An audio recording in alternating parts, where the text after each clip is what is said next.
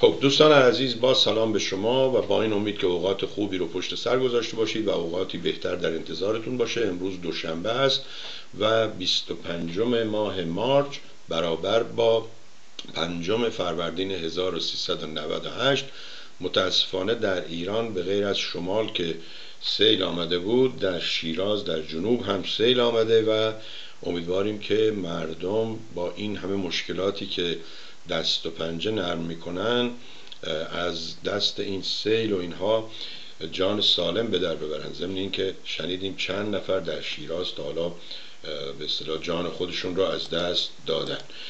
و می‌بریم شما رو به آلبانی جایی که دوستان مجاهد اونجا بودن و بعضی از اینها تصمیم گرفتن که از سازمان مجاهدین که تبدیل به فرقه رجوی و مریم شده جدا بشن. یکی از اونها آقای غلامرضا شکری هست که من به اشتباه در سال گذشته ایشون رو غلامرضا شکری می‌گفتم چون ما داریم اینجا یه آقای غلام شکری که اتفاقا ایشون هم مجاهد هست و همشهری من هست. اجازه بدید هم سال نو رو به این دوستان تبریک بگم. مخصوصا آقای عبدی که زحمت می‌کشه و هر وقت ما با دوستی از آلبانی به اصطلاح مصاحبه داریم ایشون اجازه میده که اون دوستان از کامپیوتر ایشون از اینترنت ایشون از منزل ایشون استفاده کنن و سال نو رو به دوستان دیگه در سر تا سر جهان تبریک بگیم و ضمن سلام به آقای شکری سال نو رو به ایشون تبریک میگیم. امیدواریم سالی بهتر باشه. آقای شکری این شما و این هم دوستان بیننده و شنونده در سر تا سر جهان اگر صحبتی دارید تبریکی دارید بفرمایید تا بعد درباره موضوعاتی که در پوستر نوشته شده بود از دو سه روز قبل و سوالاتی که برای شما ارسال شده. دوستان خیلی مایلن مثلا چون اون ماجرای اعتصاب غذا و اینها و در اون باره هم صحبت می‌کنیم. حال شما چطوره؟ این سال جدید تا امروز چگونه بوده؟ من به دوستان میگم امیدوارم که سال خوب آغاز شده باشه و هر روز بهتر از دیروز فردا بهتر از امروز. بفرمایید آقای شگری خیلی خوش آمدید. قربان شما. با سلام به خدمت بینندگان عزیز منم به نوبه خودم عید و تبریک میگم به همه. انشالله که سال سال خوشحالی بردباری و شادمانی برای همه باشه. هرچند که توی همین روزا شما خودتون اشاره کردین موضوع سیل در شمال و در شیراز و منم شنیدم در استان کرمانشاه سرپل ها این موضوع پیش اومده. امیدوارم که اونهایی که مصدوم شدن مجروح شدن هر چه زودتر بهبود پیدا کنن و اونهایی که جان خودشون از دست دادن خدا رحمتشون کنه. انشالله که روزگار خوبی داشته باشید در خدمت شما.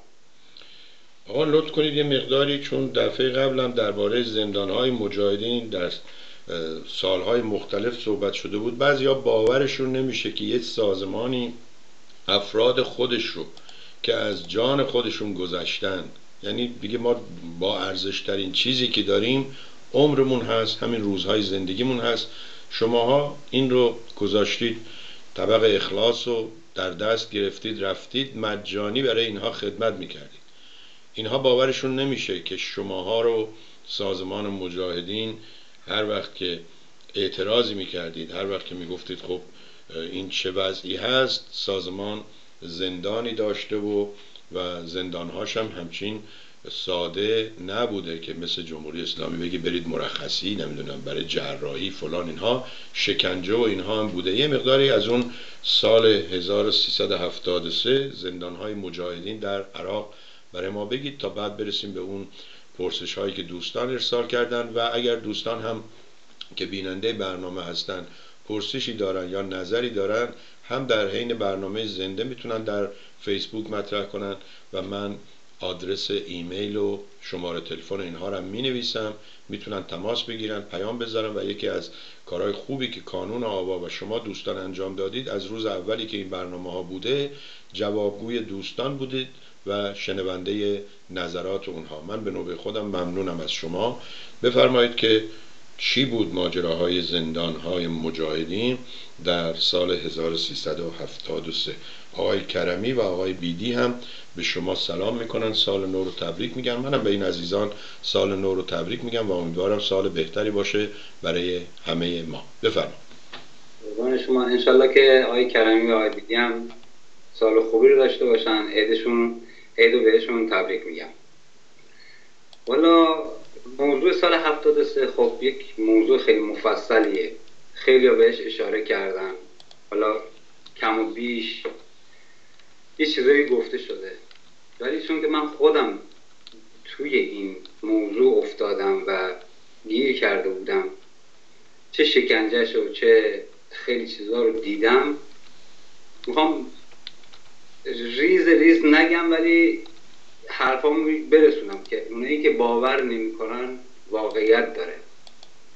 من گفتم بارها هم گفتم هر جای دادگاهی تشکیل بشه سر این موضوع من حاضرم برم شهادت بدم. حالا هر چی می‌خواد برای من پیش بیاد. هیچ مشکلی ندارم. چیزی مثل مریم رجبی رئیس فرقه چیزی از بر از دست دادن ندارم. ولی واقعیت هم اینه که سال 73 من لحظه به لحظهش کامل یادم از چه ساعتی منو بردن روز پنجشنبه. اون سری هم گفتم روز پنجشنبه بود. بعد از مسابقه فوتبال اومدیم رفتیم مجموعه. بعد از همون گرفتن و آماده شدن برای شام و اینجور چیزا هوشنگ دودکانی منو صدا کرد. گفت کارت دارم. منم رفتم دیدم اسبال مصناس گفت که خواهر فلانی اسمش یادم نیست گفت خواهر فلانی کارت داره. بریم ما رو بردن لشکر دست سابق اونور خیابون صد رفتیم بودیم اینجا که خالیه. گفتن نه راه افتاده. ما رفتیم همونجا. رفتیم اونجا یه آقای الان اسمش یادم ولی چهرش دقیق تو نمه نشستیم.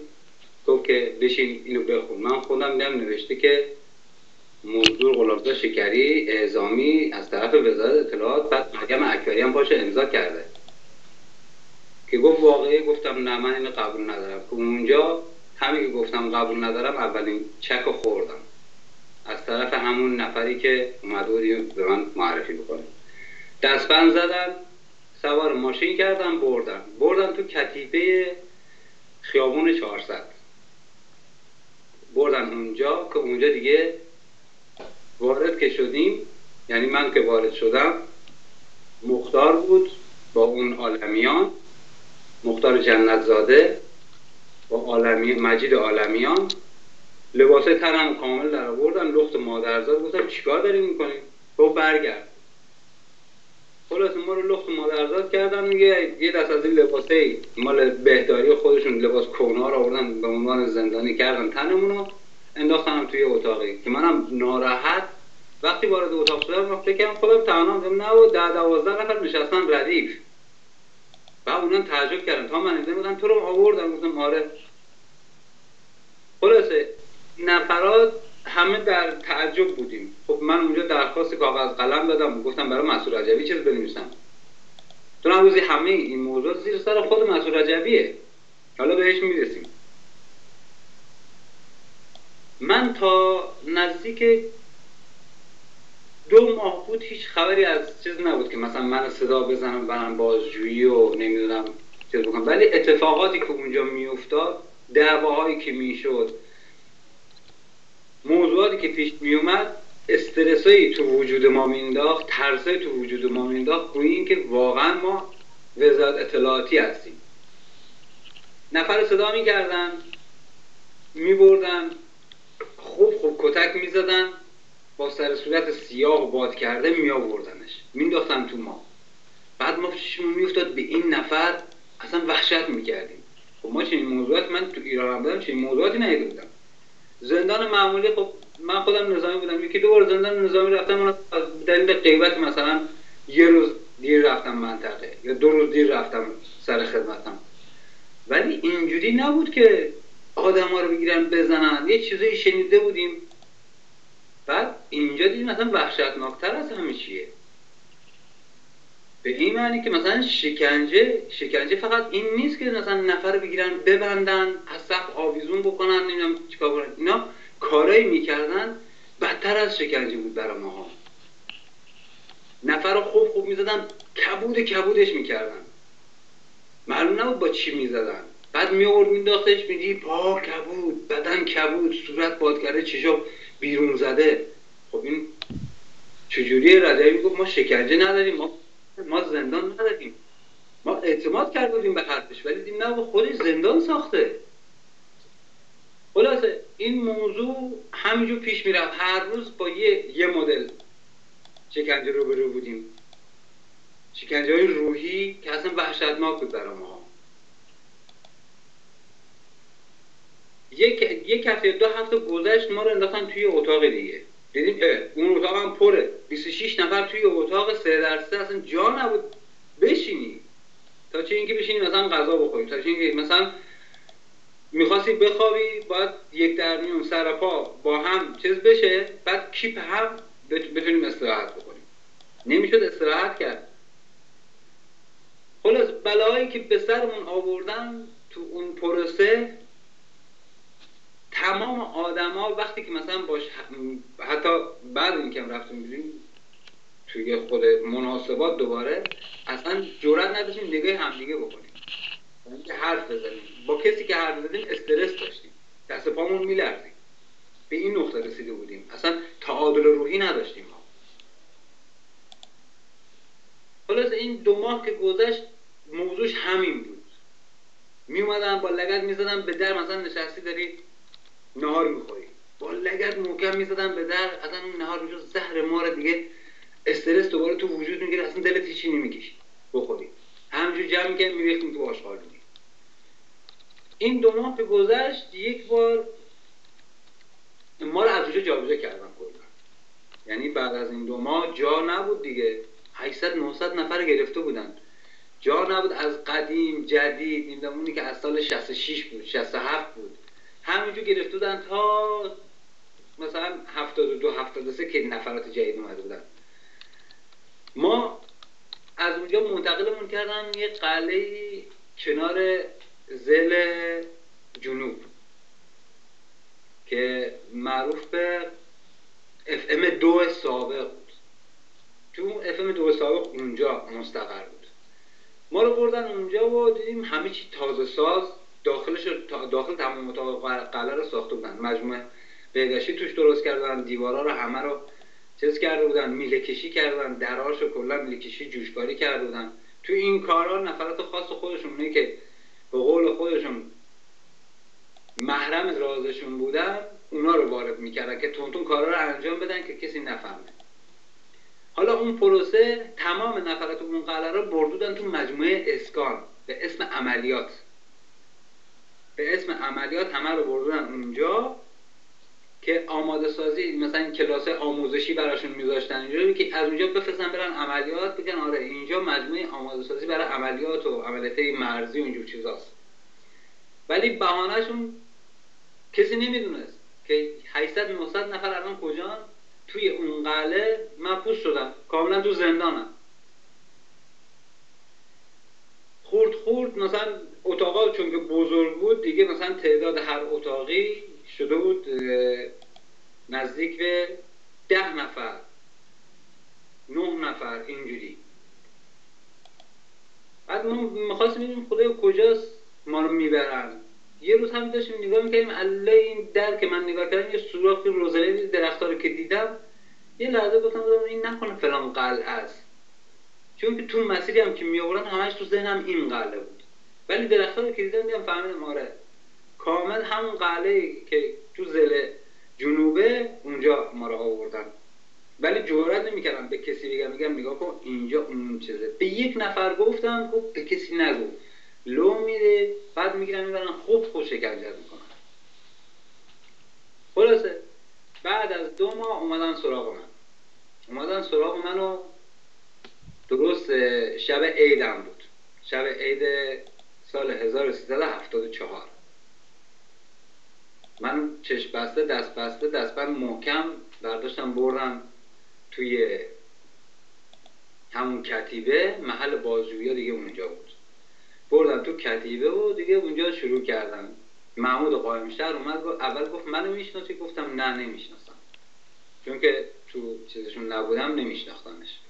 یکی بود به اسم مسعود که توی تبلیغات اون مدتی که من مثلا دیگه اون داخل بودم بعد کنم تو تبلیغات داشت کار می‌کرد. من موقع من جلو گفت من میشه گفتم نه نمی‌شناسم گفت که خب تو درخواست کردی که منو ببینی؟ گفتم نه من چنین درخواستی ندادم اگه درخواست داشتم کتبی کو کاغذم کو من چنین چیزی نگفتم. گفت چقدر پر روی زبونم زبونم که خیلی درازه. که شروع کرد با لگت سر ساق پای من زدن محلی که خیلی درد می‌کنه. یه چند تا زد و گفت خب حالا دیگه نوبت تو بشینی کامل اعتراف بکنی که ببینم کی تو رو فرستاده. برای کی اومدی کار بکنی که بخوای رهبری رو بکشی؟ آخه جوجه فکلی چی به تو که اومدی برای این کار؟ اونم تو اشرف.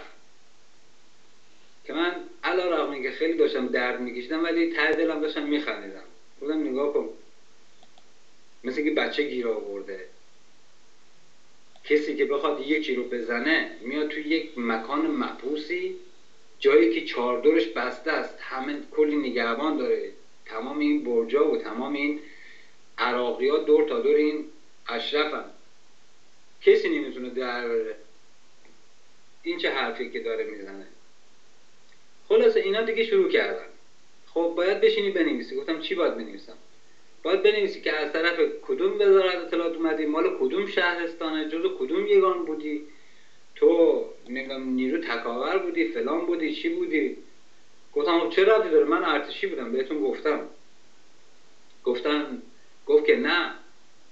بحث ارتشی بودن این وزارت اطلاعات تو رو اجیر کرده برای این کار. ما که می‌دونیم فرستادن عراق تو عراق اومدی تمام مسیر اومدی به اسم نمی‌دونم این که می‌خوای بری خارج و گفتم آره من تمام تصمیمم این بوده برم خارج. توی اردوگاه التاش که اردوگاه پناهندگی کردا بوده من با نفر شما آشنا شدم. من اصلا آشنایی با شما نداشتم. تو ایران یه چیزایی شنیده بودم. تو مرزه یه چیزی از شما دیده بودم. ولی آشنایی نداشتم با شما. دیگه این هر حرفی می‌زد من جواب می‌دادم. می‌رفتم زیر کتککاری و لگت زدن و با مشت و با آرنج و اینا میذاشتم تو پشتم و درست حسابی کتک رو میخوردم. سر صورتم بات کرده بود چند بار که با مشت می‌زد. خلاصه این گذشت تا یه روز اون نیومد. نقی ارانی اومد. نقی ارانی اومد شروع کرد به فوش بدی بیرا دادن. منم نقی رو نمیشناختم تا اون فوش بدی بیرا دادن این حرفایی می‌زد که واقعا خودم شر می‌کردم. الانش هم مثلا نمیشه گفت. معلوم بود از اون لات لومپنای درجه یک شهر خودشون بود. حالا نمی‌دونم کجایی بود ولی خیلی تو حرف زدن فوش و فوش رکیک دادن حرف نداشت. که برگشت چیزایی گفت گفت میفرستم زیر شنی تانک و اون زیر له لوردت می‌کنم. اصلا نمی‌ذارم زنده بری. نمی‌ذارم خمادت تو رو ببینم منم برگشتم بودم بودم باشه این کارو بکن هیچ مشکلی نیست. ما که اومدیم جنون جنون نور بدیم. خودتون کلی با ما صحبت کردیم مسیر آزادی اینه مسیر نمی‌دونم راه آزادی برای ایران اینه. خب ما بعد یه مدت خب اومدیم وارد شما شدیم. فهمیدیم چی کار باید بکنیم. باش بیا. بنداز زیر شنی تانک. له لورده. این دیگه هر روز این تهدید رو می‌کرد. تا موقعی که دوباره من قانون شهر اومد برگر گذاشت گفت باید امروز بشین بنویسی گفتم چی بنویسم؟ گفت بشین بنویس. منم نشستم دوران خاطرات خودم براش نوشتم. مال زمان ارتش و فلان اینو. آره اومدیم تو نمی‌دونم سازمان اینجوری بوده اینجوری بوده. و برگه من دید و گفت گفت خوب بودم اینو تمام شد. محکم با کف دستش گذاشت تو کلم. برگرم کوبید رو سرم. به صورتی گفتم واقعا دیگه اصلا مخم اومد تو دهنم. سردرد شدید گرفتم یه دفعه. گفتم خب چرا می‌زنی؟ گفتی بنویس من نوشتم. همین که اینو گفتم دوباره شروع شد کتککاری ها با لگت اصلا تمام بدنم کبود کرد. خلاص یه چیز گذاشتم یکی اومد در گوشش یه پچه پچی کرد. نمی‌دونم که من فقط تا چیزی می‌شد روشش هم میبستم. انقدرم این دستبند رو محکم می‌کردن از این جرجقه ها بود. هر تکونی که می‌خوری یه تق زفت می‌شد. بدتر می‌شد. اومد یه چیز در گوشش گفت و رفت. بعد اون مسئول اومد پیشم گفت بابا جان بشین بنویس واقعیت رو گفتم من واقعیت رو گفتم. گفت به خدا ولت نمی‌کنن می‌کشن فلان می‌کنن از زاویه دلداری دادن که منو آروم بکنه چه آره مثلا من قایم شد انقدر خشنه من اینجوریم خیلی دل رحمم. گفتم من هیچی برای نوشتن ندارم دیگه. می‌خوایم بکشیم بکشیم. دیگه قید همه چی رو زد. من قایم رفت این که شروع به صحبت کردن چند دقیقه دیگه دور برگشت. برگشت گفت خب میشینی بنویسی یا بذارم سینه دیوار. یه گوله بیشتر از نمی‌زنم. گفتم بذار سینه دیوار یه گوله بیشتر نزن خودتون ضرر می‌کنید. من ضرر نمی‌کنم از نفرات خودتون دارید می‌کشید روی چقدر پر دوباره شروع کرد. دوباره شروع کرد. توی یک نقطه چای دستش بود. چی بود؟ ولی حدسم اینه که چای بود. یه دفعه چای رو کرد تو پاشون تو صورتم خلاص این گذشت. گذشت چند دقیقه اینا رفتن یه پچ پچی کردن یه چون می‌رفتن از در می‌رفتن بیرون پشت صدای پچ پچشون میومد آروم که حرف می‌زده من نمیشنیدم. اومد دوباره این دستمال جلو صورت هم چیز کرد آوردش پایین یکم منو نگاه کرد گفت من به خدمتتون می‌رسم الان. خلاص دستمال رو بستن و بهش گفتم گفتم اگه میشه دستبند شل بکن گفت دستبند شل بکنی می‌خواد دست در بیاره اتوش و می‌خواد فرار بکنی؟ گفت بیان ببرینش که وقتی که منو داشتن میبردن این اسمش یادم رفته.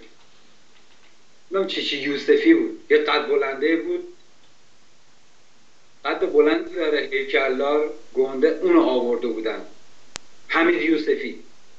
حمید یوسفی آورده بودن. پس گردنمو گرفت گفت چه بدی میدی؟ بودم چون که هموم نداریم اینجا.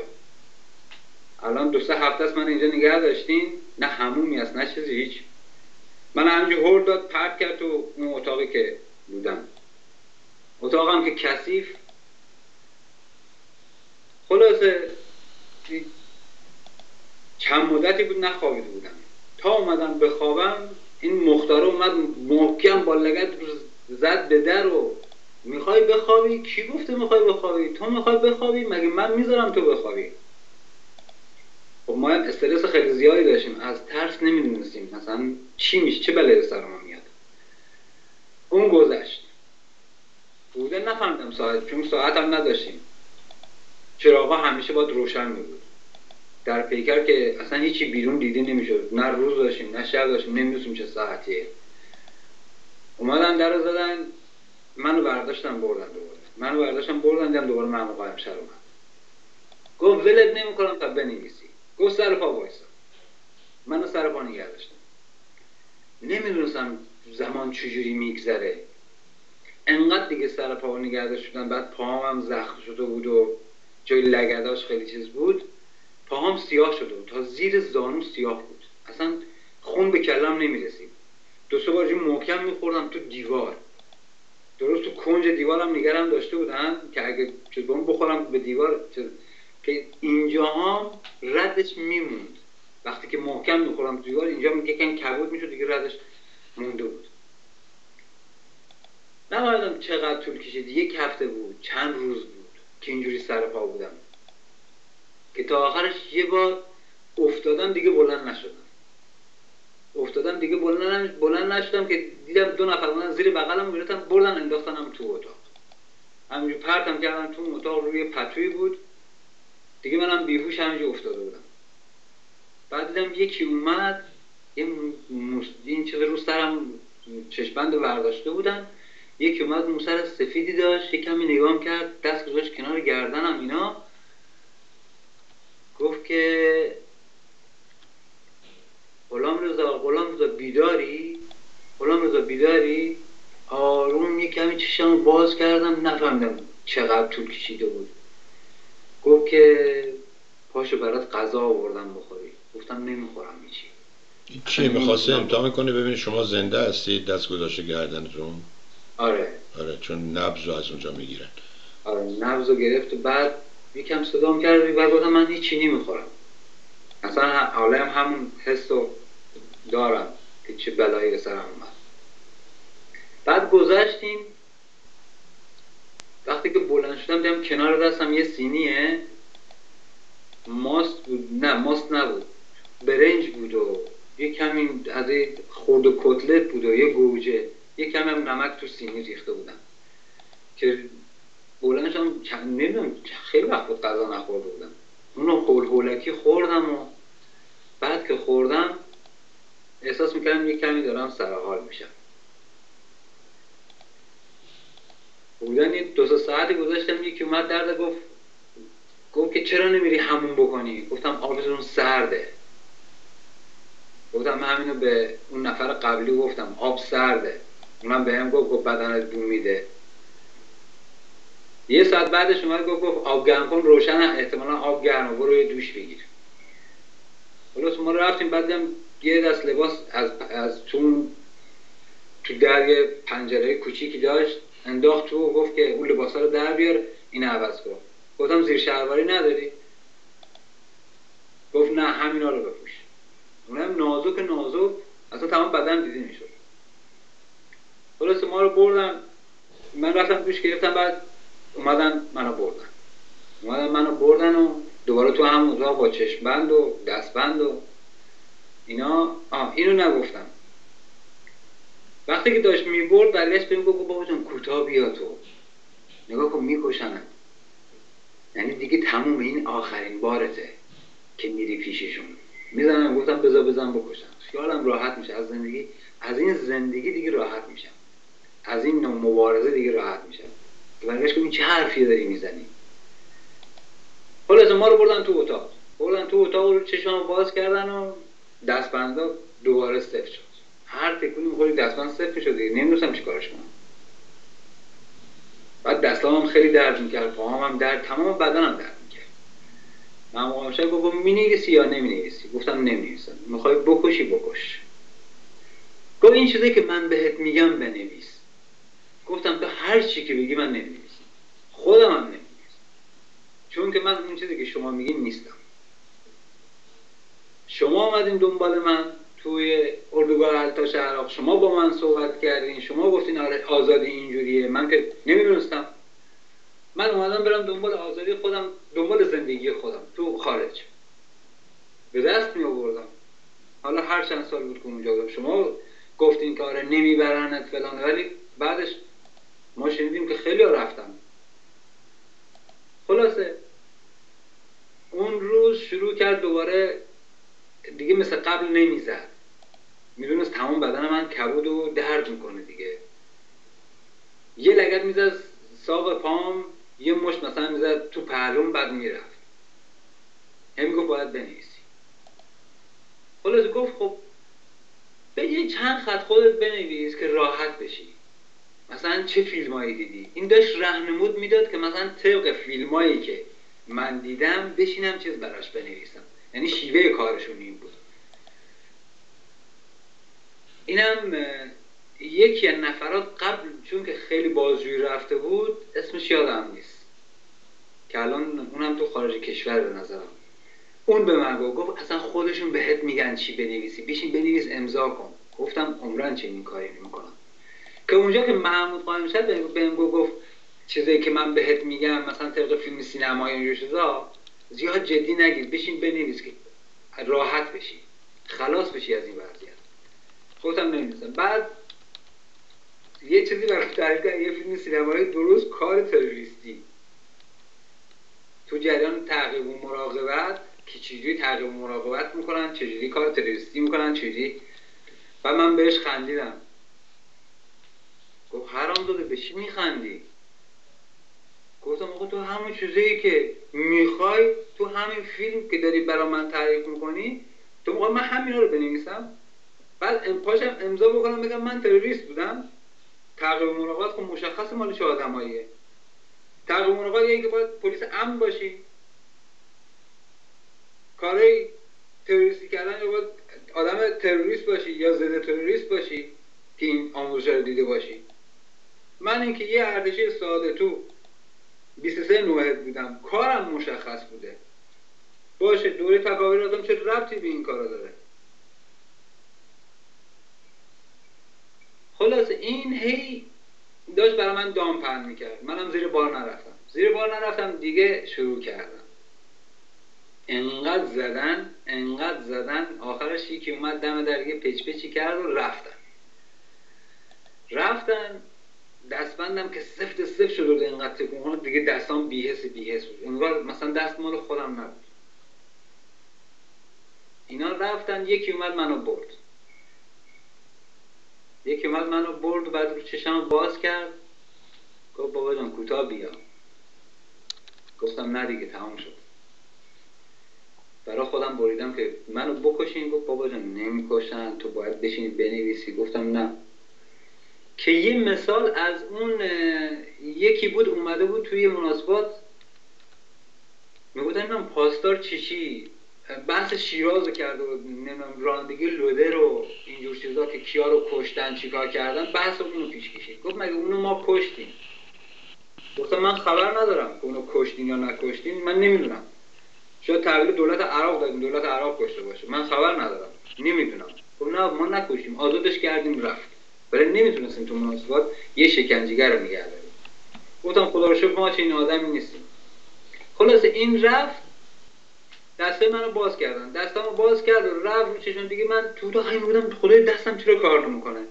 یه لحظه در باز کرد گفت چیزی نیاز نداری. گفتم اگه میشه دو نخ سیگار برام بیار. سیگار می‌خوام. الان دو سه هفته سیگار نکشیدم. دو نخ سیگار برام آورد سربی. این دو نخ سیگار رو خدا سرشاهده.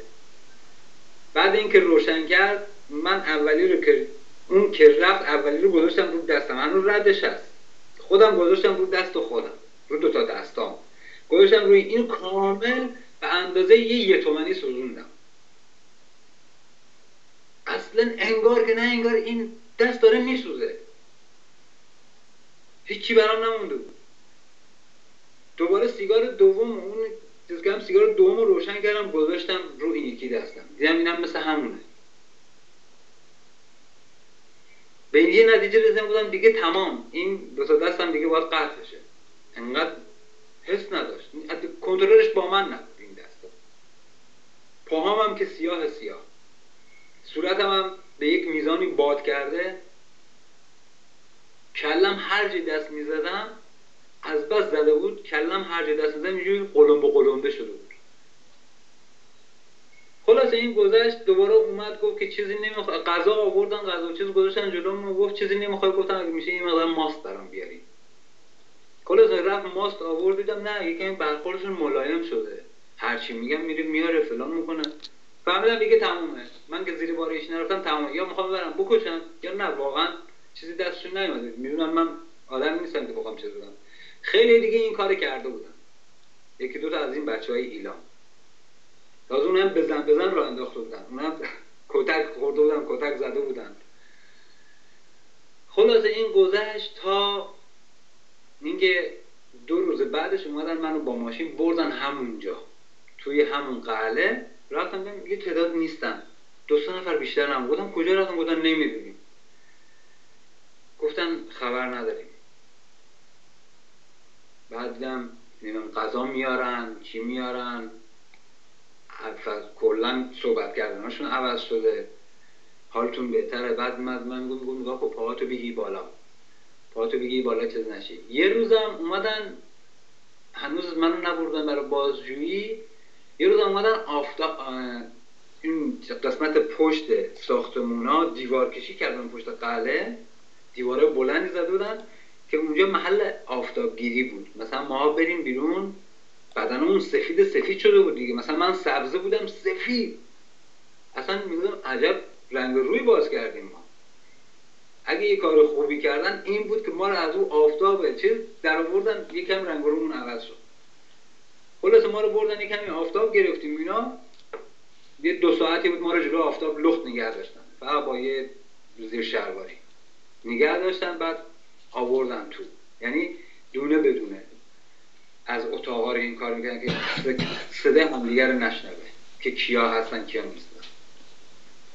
خلاصه این گذشت و دیگه منم بعد از اون بازجویی برگردوندم بردم اونجا و توی اون بازجویی ها که دیگه تمام شد این دو سه نفری که مونده بودیم با هم دوست شده بودیم. گفتیم چی شد؟ یکی گفت از من فیلم برداری کردن از من فیلم گرفتن. من علکی اعتراف کردم به دروغ گفتم. خیلی پشیمونم که چرا دروغ گفتم. فیلم برداری هم ازم کردن. اون یکی می‌گفت نه من فقط نوشته دادم. بعد به من که گفتم من والا هیچی زیر بار هیچی نرفتم. زیر بار هیچیشون نرفتم. کتکه رو خوردم ولی واقعیت رو گفتم. گفتم من اون چیزی که شما فکر می‌کنین نیستم. این موضوع گذشت. گذشت اومدن دو سه روز بعدش بود. اومدن اونا رو بردن بعد برای ما غذا آوردن و بعد فرداش یکی دیگر رو بردن. من تک تنها مونده بودم. تک تنها که بودم دیدم در اتاق بغلیمو زدن. دیدم صدای سمیراست. اومد گفت که دختر عزیزم چیزی نمی‌خوای فهمیدم اتاق کناری من این دختراست. چند تا دختر سه چهار تا دختر بودن. اگه چیزی می‌خوای تا برات بیارم. نیاز چیزی داری؟ بگو تا برم سری برات بیارم. حالا اونا گفتن نه ما چیزی نیاز نداریم اینا رفتن. اینا رفتن بعد یه چند دقیقه بعدش دیدم یه این پنجره کوچیک باز شد سری بسته شد. دیدم سمیرا بود. اومد چک بکنیم من کسی تو اون اتاق هست یا نه که اینجوری با بلند. بعد فهمید که خرابکاری کرده. که اتاق بغلی فهمید که چند تا دختر اون کنارم خلاصه اینم گذشت و اومدن اتاق منو جابجا کردن برن یه اتاق دیگه گذاشتن. مثلا دو تا اتاق اون ورتر دیگه خودم تنها بودم. برام یه ماهی آوردن.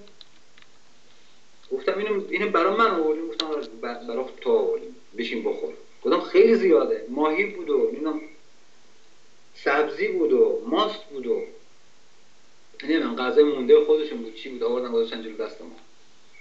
خب ما هم خب غذا نخوردیم. مدت بود غذا درستابی نخورده بودیم.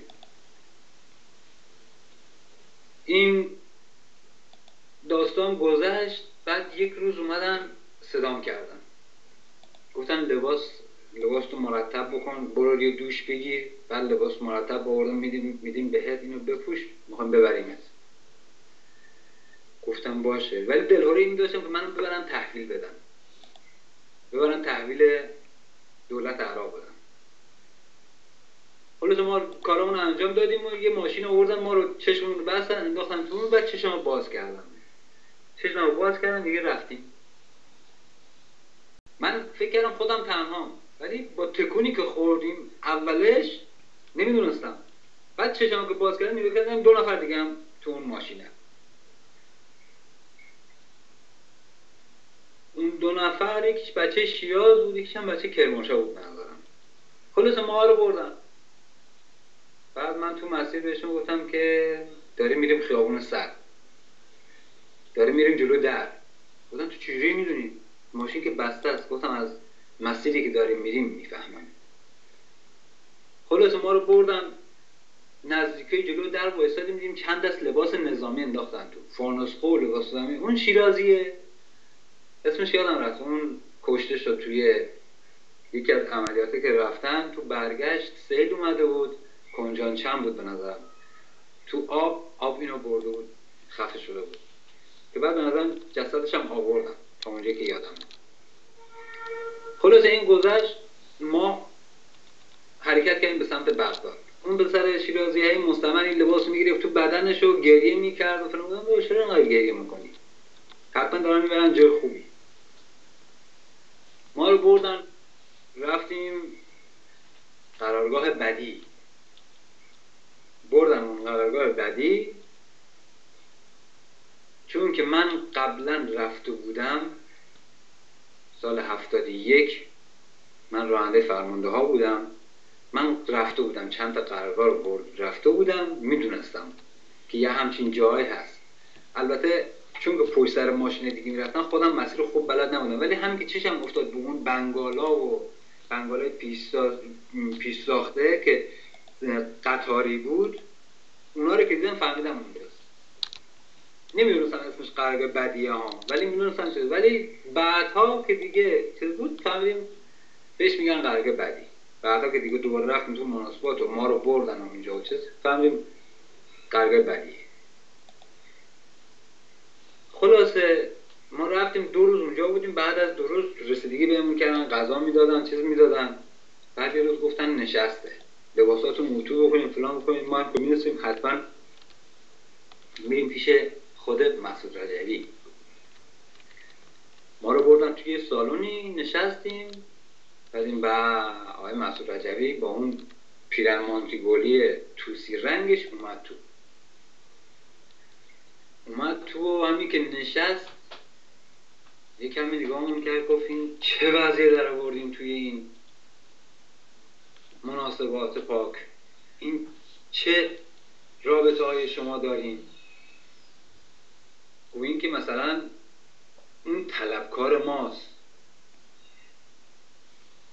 حالا ما با طلبکار میشیم. بگو چند ماه ما داریم کتک می‌خوریم. داریم شکنجه می‌دونیم شکنجه این نیست که فقط مثلا ما رو بگن از پاویزون بکنن توی چی میگن؟ این چیزو بزنن رو کلمون پامون بدنم دل برق بدن فلان کنن ناخون بکشن فلان بکنن این نیست هر نوع آزار اذیت هر انسانی خودش شکنجه است. بخصوص روحی. بلاز روحی ما داغون بودیم. اصلا هیچی برامون نمونده بود. من واقعا میگم مثلا استرسه ای که روزانه داشتم باور نمی‌کردم این منم. تمام دست بالم میلرزید. اینم خب خودش شکنجه است. شروع کرده حرف زدن. یکی به یکی. خب تو از کجا اومدی؟ من از فلان شهر اومدم. تو از کجا اومدی؟ تو از فلان شهر اومدی. همجوری یکی یکی تا رسید به من. برگشت گفت قلامزا شکری. گفتم بله. گفت تو چیکاره بودی؟ گفتم ارتشی بودم. گفت از کجا اومدی؟ گفتم هم مرز کردستان اومدم. گفت مال کدوم لشکر بودی؟ گفتم مال لشکر 23 نوحد بودم. گفت که یه سری چیزا بر علیه تو نوشته شده. خیلی هم نوشته شده. گفتم قبول ندارم تا نبینم. منو گفت بیا پیش خودم. من همین که رفتم پیشش اینجوری نشسته بود من اومدم این کنار. تا اومدم کنارش سری دو تا دستم از پشت این نفر حفاظتش گرفت. گویا که مثلا من الان می‌خوام کاری بکنم. سری دو تا دست دستم از پشت گرفت گفت اینا رو بخون. یه کمی نگاه کردم گفتم دیدم خط حمزه رحیمیه. حمزه رحیمی که با خودم بود از موقعی که با هم رفته بودیم اون زودتر از من رفته بود توی مناسبات. بعد من رفتم تو عراق هم با هم آشنا شده بودیم تو اردوگاه التاش با هم آشنا شده بودیم. اون درجدار ژاندارمری بود. خلاص اونم داستانهایی داشتیم با اون که یه بارم بردن حتی روی رومون کردن با هم. اصلا نذاشتن من حرف بزنم نقیرانی بگم گفت حرف بزنی همونجا می‌کشم. حق نداری تو حرف بزنی. که حمزه حرفاش رو زد منم همینجوری زاغ زاغ داشتم نگاش می‌کردم. اصلا تعجب می‌کردم حمزه این حرفا رو داره می‌زنه.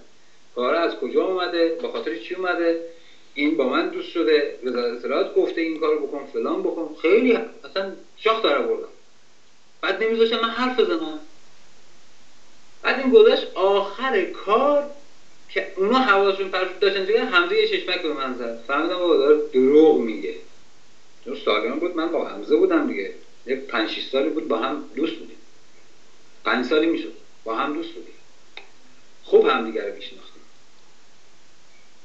این گذشت داستانهای دیگه داشتیم با حمزه که بعد مفقود شد دیگه پیداش نشد که من همه چی رو کامل نوشتم دادم سر این موضوع که حمزه من آخرین بار اونجا دیدمش که دیگه ندیدمش تا موقعی که فهمیدم شماره قبرش رو به خانوادش دادن.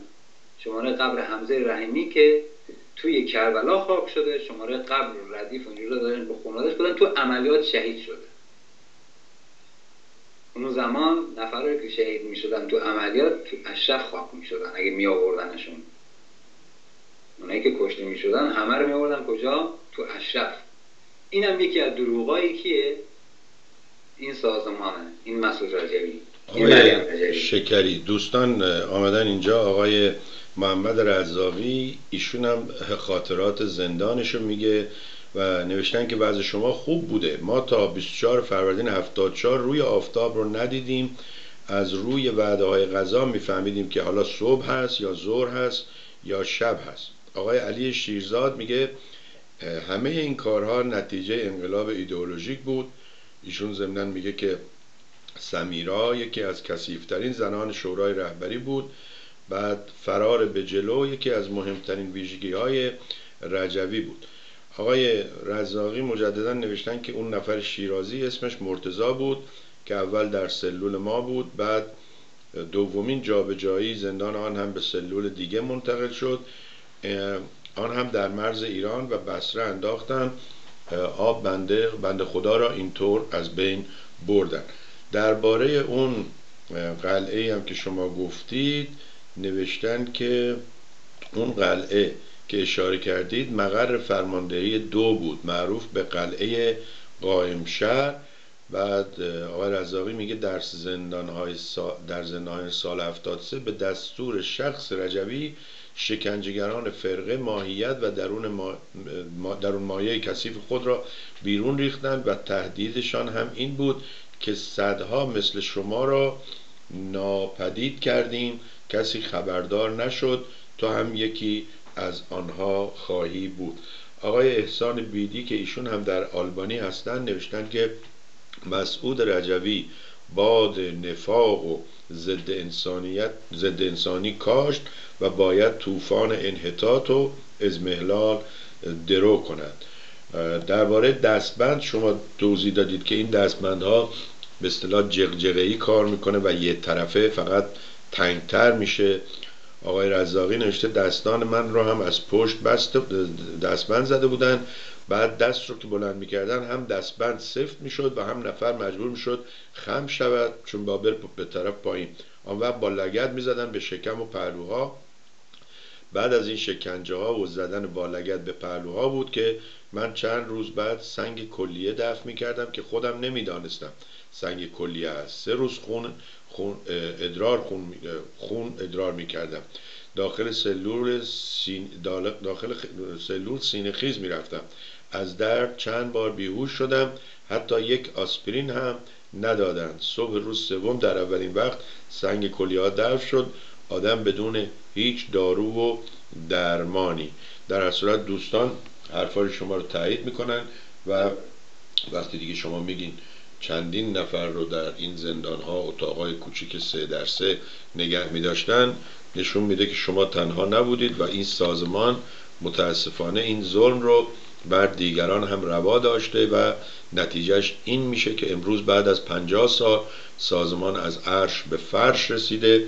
میشه بگیم زیر فرش چون رهبرش هم ناپدید و ناپیداست. بازم ممنونم از شما. خیلی ممنون. بفرمایید. کاملا پیداست که به قول معروف میگه خود می‌کشی و خود تعذیه میداری. کار رجبی همینه. حالا همین مثالی که برات زدم همین موضوعی که گفتم خود می‌کشی و خود تعذیه میداری تو جای دیگه هم بارزه. کاملا مشخصه. فقط این نقطه نیست. جاهای دیگه تو موضوعات بعدی هم من بازم میگم. کجا بودیم؟ اینجا بودیم که خود مسئول ادبی ما رو صدا کرد. صدا کرد. کلی صحبت کرد و کلی به توپ تشهر رو نمی‌دونم تهدید کردن و آره اگه توبه بکنین میفرستیم بریم تو مناسبات دوباره. ولی تو مناسبات نباید چیزی به کسی بگین. حرفی نباید بزنین. هر کی درز بکنه این حرف با کسی محفل داشته باشین چیز داشته باشین ما بلافاصله اخراج می‌کنیم. و از همین حالا هم بگم هر کی می‌خواد بره خودش بگه بگه من می‌خوام برم. ما تحویل دولت عراق میدیم. تا اینو گفت. بلافاصله من این کناریم بچه گیلانغر بود. نگاه هم دیگه کردیم. تحویل دولت عراق میدیم یعنی چی؟ یعنی اینکه تحویل استخبارات میدیم. اونو راحتتر سر به نیست می‌کنن. چون دوست جونجونی صدام حسینه همه چیشو داشت تأمین می‌کرد. گونی گونی پول بهش می‌داد. این همه پول این همه امکانات از کجا میومد خب معلوم بود. چجوریه؟ دولت صدام در همه چی رو براش باز می‌کرد. در تمام قرارگاهاش رو پادگاناش رو باز می‌کرد. بری سلاح بیاری بری تو قطعات سلاح بیاری بری دلول بیاری چالول بیاری تانک بیاری فلان بیاری اینو بیاری اونو بیاری. دیگه معنیش چیه؟ یعنی دوست جونجونی خب برای همه پر واضح بود. حالا اینجا گفت تحویل دولت عراق میدیم خب معلومه استخباراته سری سر سر نیست می‌کنه دیگه هممون غلاف کردیم. هممون غلاف کردیم ما. کسی چون من تصمیم داشتم همون موقع بگم من می‌خوام برم. همینی که گفت دیگه تموم شد. اصلا به قول معروف جام کردم. هیچی نگفتم. خلاص توی هم اوایل صحبت هم بود که داشت می‌کرد یه دفعه از اون وسط یکی از این دخترها بلند شد. خواهران مجاهد بلند شد. آی فلان شما سازمان به چی کشیدین؟ فلان کردیم بیسان کردیم به رهبری خیانت کردیم یک با آب و تابی شروع کردید. منم توپر اصلا طاقت نمی آوردم حرف کسی رو گوش بکنم. بلند شده بودم. خواهر چه خبرته صاحب الله خودش نشسته. تو داری از ما طلبکاری می‌کنی؟ خواهشن شما هیچی نگیم بعد دیدم خود محسود گفت که راست میگه تا من اینجا شما حق ندارین چیزی بگین. من با طلبکاری نباشم تمام شد رفت کارش. دیگه هیچ کسی چی نگفت. دخترایی هم که اون تو بودن معلوم بود اونا هم زندان کشیده بودن ولی اونا اصلا حرف نمی زدن اونا رو آوردن فقط ببینن کیا اونجا بودن. بعدها ما فهمیدیم کی اونجا بوده کی نبوده از این دخترها. خلاصه تمام حرفا رو زد. آره ما این کارو می‌کنیم اون کارو می‌کنیم. بریم تو مناسبات دوباره از اول شروع کنیم. مشکلی نیست. یک سری اشتباهات شده. نمیگو به انتقاد به من وارده. میگو یک سری اشتباهات شده. یعنی اشتباهات کی کرده؟ اونا کردن. بابا خود صاحب الی از خودت شروع شده. این موضوع رو می‌تونستی پیش نیاری که رو سرت خراب نشه؟ که راه درستتر داری. باید حتما درست کپی اون زندان زمان شاه پیش بری که آدما رو بگیری ببندی آدما رو بگیری سر پا نگهداری که خون تو پاهاشون جمع بشه آدما رو بگیری کلشون رو بکوبی به دیوار. این چه شیوه ایه حتی نمیگه بابا من اشتباه کردم انتقاد به هم وارده. اصلا نمیگه. طی 27 سال که من توش بودم یک بار با خودش انتقاد نکرد. سر اشتباهاتی که داشت. حالا بازم میگم که کجا اشتباه کرد. کجا خودش با زبان اشهد خودش می‌گفت خون مسیر باز می‌کنه. حالا این این موضوع تموم شد. اومدن ما رو یه نهار چیدن فرمانده های بالا همه نمی‌دونم اون روز نسرین نبود محوش سپهری. ولی بقیه بودن. نهار چیده بودن؟ توی یه راه روی میزی. خب با هممون می‌گفتن میخندیدن. نمی‌دونم. هی. یه جوری با همون چیز که اینا از بیرون بکنن. درست همون روز که مخواستن ما رو برگردن مصادف با کشته شدن کی؟ دو تا از زنای تبلیغاتشون. دو تا از اون زنا همون روز توی اگه یادم باشه چهار راه اسم منطقه یادم رفته. بهش می‌گفتن مرز سرخ اون منطقه. توی یکی از چهار راهایی که بعد از پل صدام بود که وارد چیز می‌شدی؟ الشب. مثلا می‌خوام الشب می‌شدی. اونجا قول خودش عمل تروریستی ولی مشخص بود هرچی بود زیر سر خودشون آقای شکری ببخشید من یه دقیقه از شما اجازه می‌خوام تا با این دوستون آقای آتیلا آریا صحبت کنم. ایشون به نظر میاد طرفدار سازمان مجاهدین هستند. خیلی خوشحالم که بیننده برنامه هستن. دیدم برنامه های دیگرم نگاه می‌کنن. اتفاقا امروز می‌خوام درباره اون نامه ای که برای آقای نیساری نوشته یا درباره آقای نیساری نوشته در برنامه خودم صحبت کنم.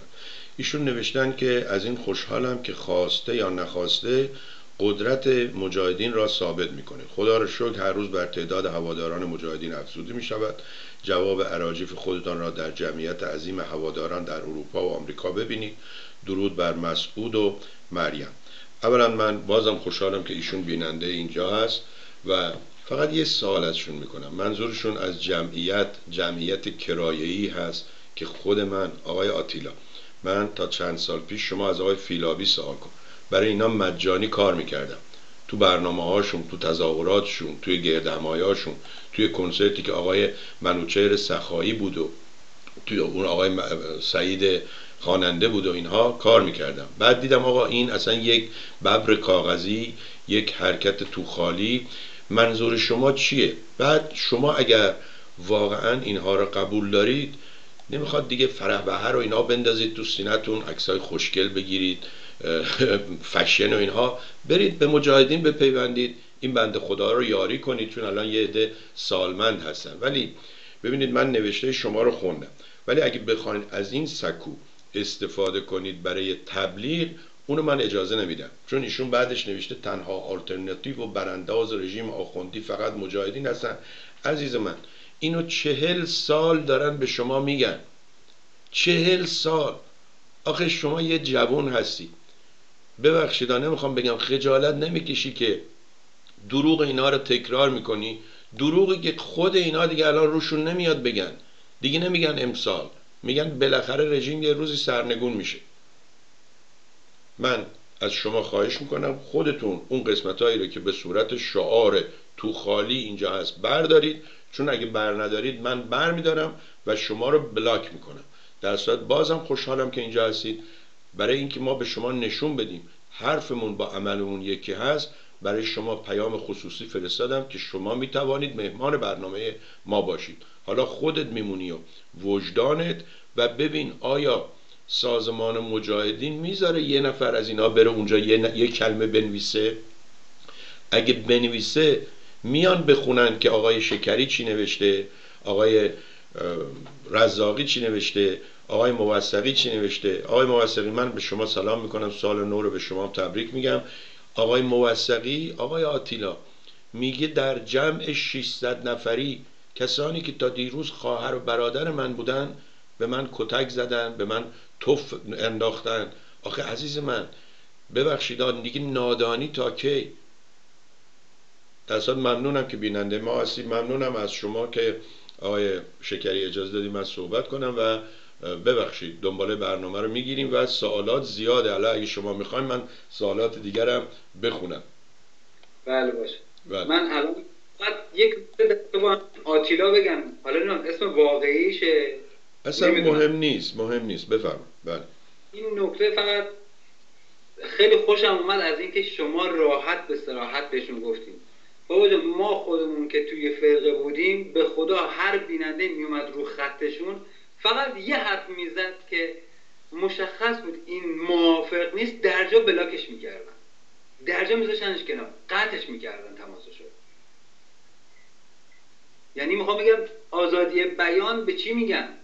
همین که شما الان رو راحتی گذاشتین چت بکنه حرفشو بزنه بعد شما تازه استقبال می‌کنین که آره داره برنامه رو همراهی می‌کنه. باشه حالا نظرش هم گفت. ولی این که بیاد یه سری چیزا دیگه بگه این درست نیست. حالا بگذاریم. ما بعد از این پروسه که تموم شد اومدیم با مسئولیت دیگه تموم کردیم. اون موضوع هم تموم شد. بحث نمی‌دونم اون دو تا زن هم که کشته شدن تموم شد و ما رو دو روز بعدش برگردوندن اشرف. تو اشرف هم که رفتیم دیگه زیب دهن کشیده. من تا دو سال در سکوت مطلق دو سال با کسی جرئت نداشتم حرف بزنم. با هر کی راه می‌رفتم اصلا نمی‌تونم یه بار حالا دو تا نمونه بهتون بگم دو بار مریم اکبری من صدا کرد اتاقش یه چند ماه گذشته بود یک بار. با یکی سر پست بودیم بحث خواب و بیداری. گفتم خب من پروسه بیخوابی رو کشیده بودم دیگه. هفته ها سر پا گیج. گفتم من بیخوابی زیاد کشیدم. من فقط همین رو گفته بودم. این رفته اینو گزارش کرده بود از این آدمای چیز بود دیگه نمی‌خوام بگم. گزارش کرده کاره این شکری من گفته بیخوابی زیاد کشیدم فلان. من وکیل صدا کرد. چرا موقع باب این موضوع رو باز بکنه؟ گفتم من کجا باز کردم؟ این یه حرفی زدم گفتم بیخوابی زیاد کشیدم. دیگه نگفتم کجا بیخوابی کشیدم؟ این یه بار. یه بار دیگه دوباره بحث موضوع مثلا سلاح اینجوش داشت ما دوباره یه چیزی گفتیم دوباره مریم اکبری ما رو صدا کرد. که تو چرا دنبال این هستی که این موضوع رو به نفرات دیگه بگی؟ گفتم والا به خدا بحث سلاح بوده. این بابا نمی‌دونم چه دشمنی با من داره که اینجوری میاد می‌نویسه شما هم قبولش داریم چرا حرف منو باور نمی‌کنین؟ هنوز اعتماد ندارین؟ اینه که گفتم این ساکه شد. ولی سالیان تا سال درست هفتاد و شیش یا هفتاد هفت؟ هفتاد و شیش یک سر سوزن به من اعتماد نداشتن. یک سر سوزن. چون که خیلی هم می‌رفتن. مرز این ور اون ور عملیات فلان. منو جرات نمی‌کردن بفرستن. تنها جایی که منو میفرستادن بغداد بود. با ماشین اسکورت می‌گفتن برو بغداد. تنها همینجا. خلاص این داستان زندان ما که پایانش هم اینجوری تموم شد که ما رو دوباره البته یه سری هم گفتم. خود مسئول رجبی اینجا شروع کرده ترانه گذاشتن برا ما. که بحث با این ترانه بست برا ما که شما مشکل ایجاد کردیم حالا این مشکل که ایجاد کردیم بعد سهل آسان میشه براتون. این به موضوع زندانسازی ما. ببخشید میشه بگید که اینا به این نتیجه رسیدن که اصلا این کارشون اشتباه بوده بعد به این وسیله می‌خواستن یه جوری شما رو راضی نگه دارن. و باز هم قبول نکنن که اشتباه کردن و بگن شما هم تقصیر داشتید. ولی خب حالا برید دیگه از امروز به بعد به اصطلاح خوب باشید. ضمن که شما هیچ وقت بعدی در حق اینا نکردید. یه همچین احساسی به شما دست داد که اینا فهمیدن که اصلا این کارشون اشتباه بوده که یه دفعه جمع کثیری رو همه رو به عنوان مزدور خب این اصلا آخوندا باید پول بدن به سازمان چون سازمان کارش شده مزدور سازی تربیت مزدور و معمول و سپاه قدس برای اون مثل پادگان ها بود که وقتی ما می‌خواستیم سربازی کنیم یه پادگان بود فقط آموزشی می‌رفتن اونجا بله. بعد به نظر می‌رسه سازمان مجاهدین شده پادگان آموزشی افراد مزدور و آره. معمور و سپاه قدس. در ممنونم از شما.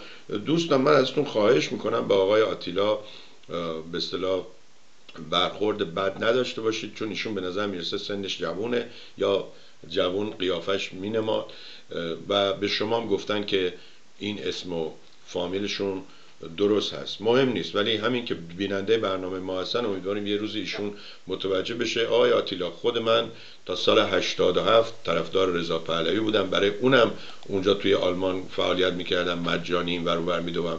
آقای آیدین هنوز زنده است شاهده. بعدم که اینجا اومدیم گفتیم خب ببینیم کدوم سازمانی سرش به تنش میارزه.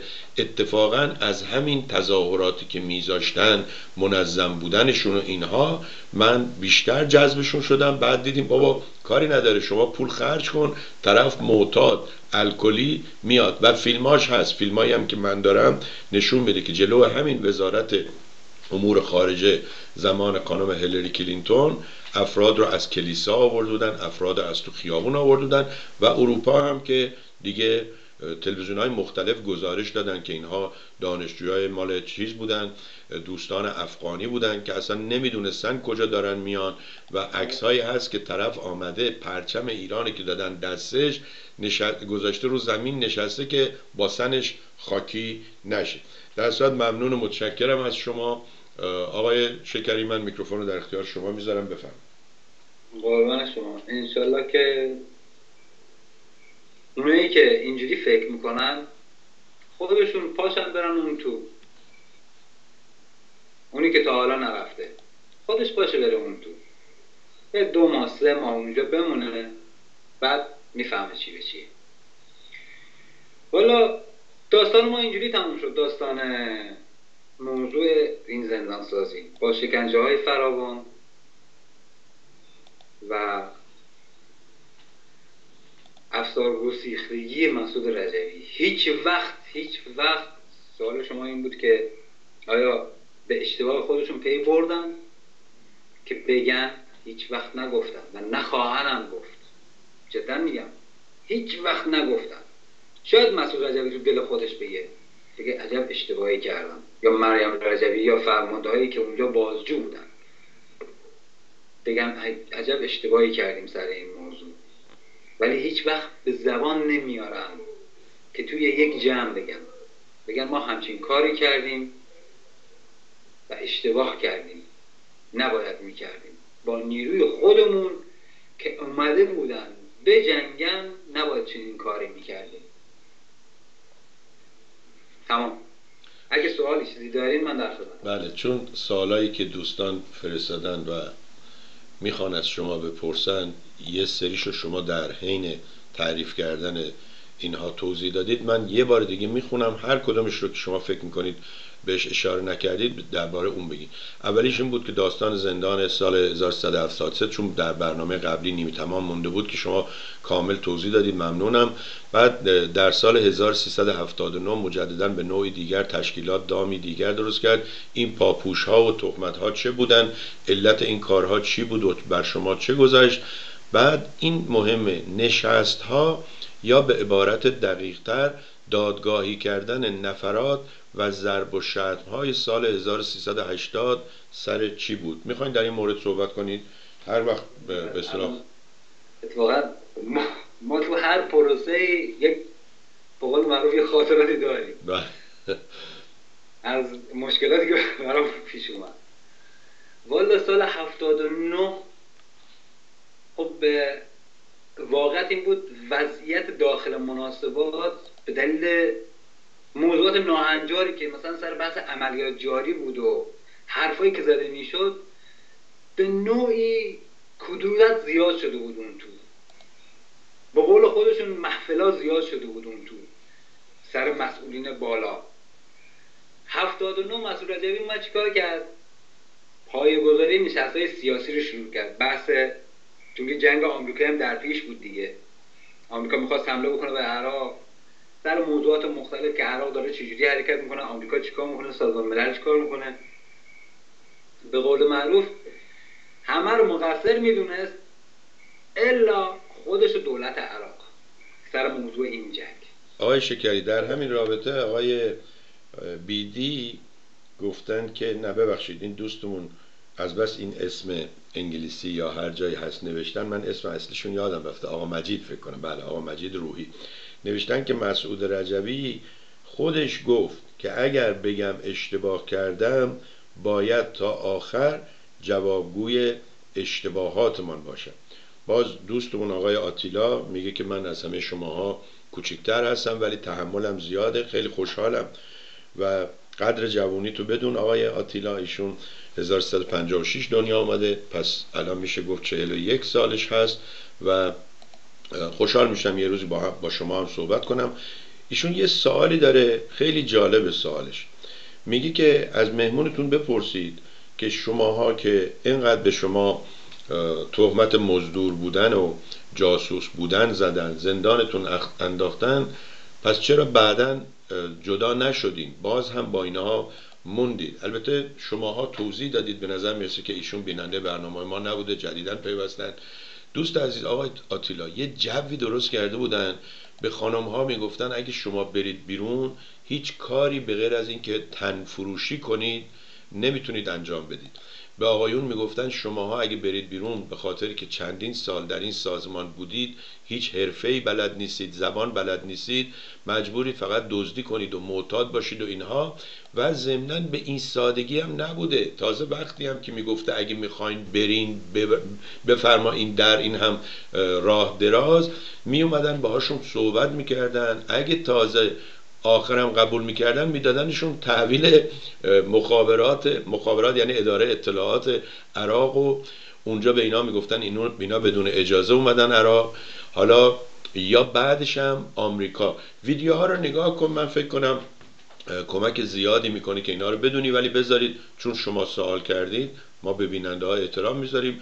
جواب شما رو خود آقای شکری بده. آقای شکری شما رو که به اتهام زدن مزدوری جاسوسی کتکت زدن زندانت کردن چرا بعدا کیفتو بر نداشتی و خدافزی کنی و بری؟ خب من فکر کنم اشاره کردم. خود وقتی که مورد تهدید قرار گرفتم خب جون سالم از اون زندان به در بردم. حالا وقتی که از اون زندان اومدیم بیرون خود مسئول رجایی بگو آقا ما اگه بخوایم کسی رو بفرستیم دولت تحویل دولت عراق میدیم. من گفتم یعنی استخبارات. استخبارات عراق یعنی اینکه آقا این به چه دلیل اومده تو عراق؟ چجوری اومده؟ غیر قانونی اومده؟ بعد وقتی که یک مارک وزارت اطلاعات هم می‌خوری 8 سال در جنگ بوده ایران با عراق. بلا فاصله سرنوشت می‌کنن. بلا فاصله.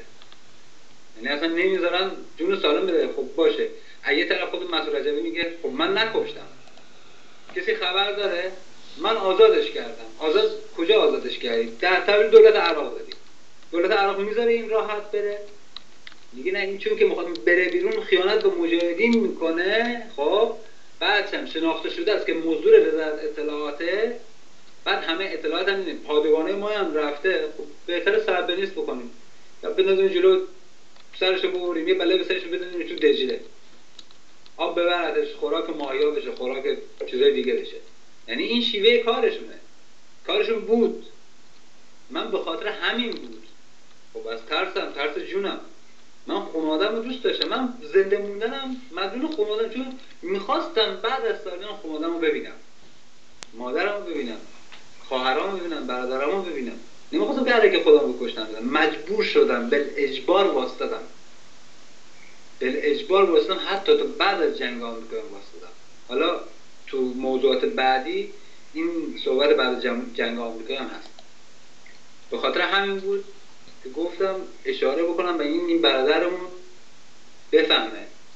واقعا اگه دوست داری با مجاهدین باشی هیچ اشکالی نداره. من احترام می‌ذارم بهت. ولی خواهشم پاشو برو توشون. یه دو ماه وایسا توشون. ببینم طاقت میاری. آقا تو رو خدا ول کن. بنده خدا میره اونجا. بعد دیگه نمی‌ذارم بیاد بیرون. عجب کلکی هستی شما. ببینید آقای رزاقی میگه که اینا می‌گفتن که هر کسی می‌خواد از سازمان جداشه محکوم به دو سال زندان در اشرف. بعدم تحویل زندان ابوقره به عراق که اونم هشت سال زندان داشت به خاطر ورود غیرقانونی به عراق. پس می‌شد ده سال. در مجموع ما فکر می‌کردیم اگه با سازمان وایسیم باز بهتر از اینی که زندان عراقی ها بشیم و زندانی آمریکایی ها ولی آقا آقای آتیلا تو خدا نرا اونجا. این انقدر بیچاره ها رفتن اونجا فکر کردن میرن دنبال چه میخنده شکری. انقدر فکر کردن میرن اونجا یه ما دو ما. اون دوستمون بگو اسمش چی بود که مصاحبه کرده بود؟ آقای حیرانی نه؟ رفته بود گفته بود برم ببینم یه خبری. ببینم ببینم چه خبره. آقای آتیلا حتما مصاحبه اون دوتا دوستی رو که با هم رفته بودن که ببین دانشجو بودن بلند شدن رفتن ببینیم چه خبره. حالا که ما آمدیم اینجا و ببین چه بر برشون گذشته و سرنوشتشون به کجا رسیده. در صورت بازم خوشحالم که شما بیننده برنامه ما هستی. اتفاقا هدف این برنامه ها اینه که به یه نحوی این برنامه ها به دست و چشم و گوش و عقل و هوش اونایی که هنوز هم طرفدار سازمان هستن برسه و مجبورشون کنه فکر کنن ببینن که از این سازمان واقعا چیزی مونده. خود شما به من بگو وقتی که میگی نیروهای شورشی چنان و چنان خب رهبر کجاست؟ آقا اگه رهبر مرده پس اینا دروغگو که نمیگن.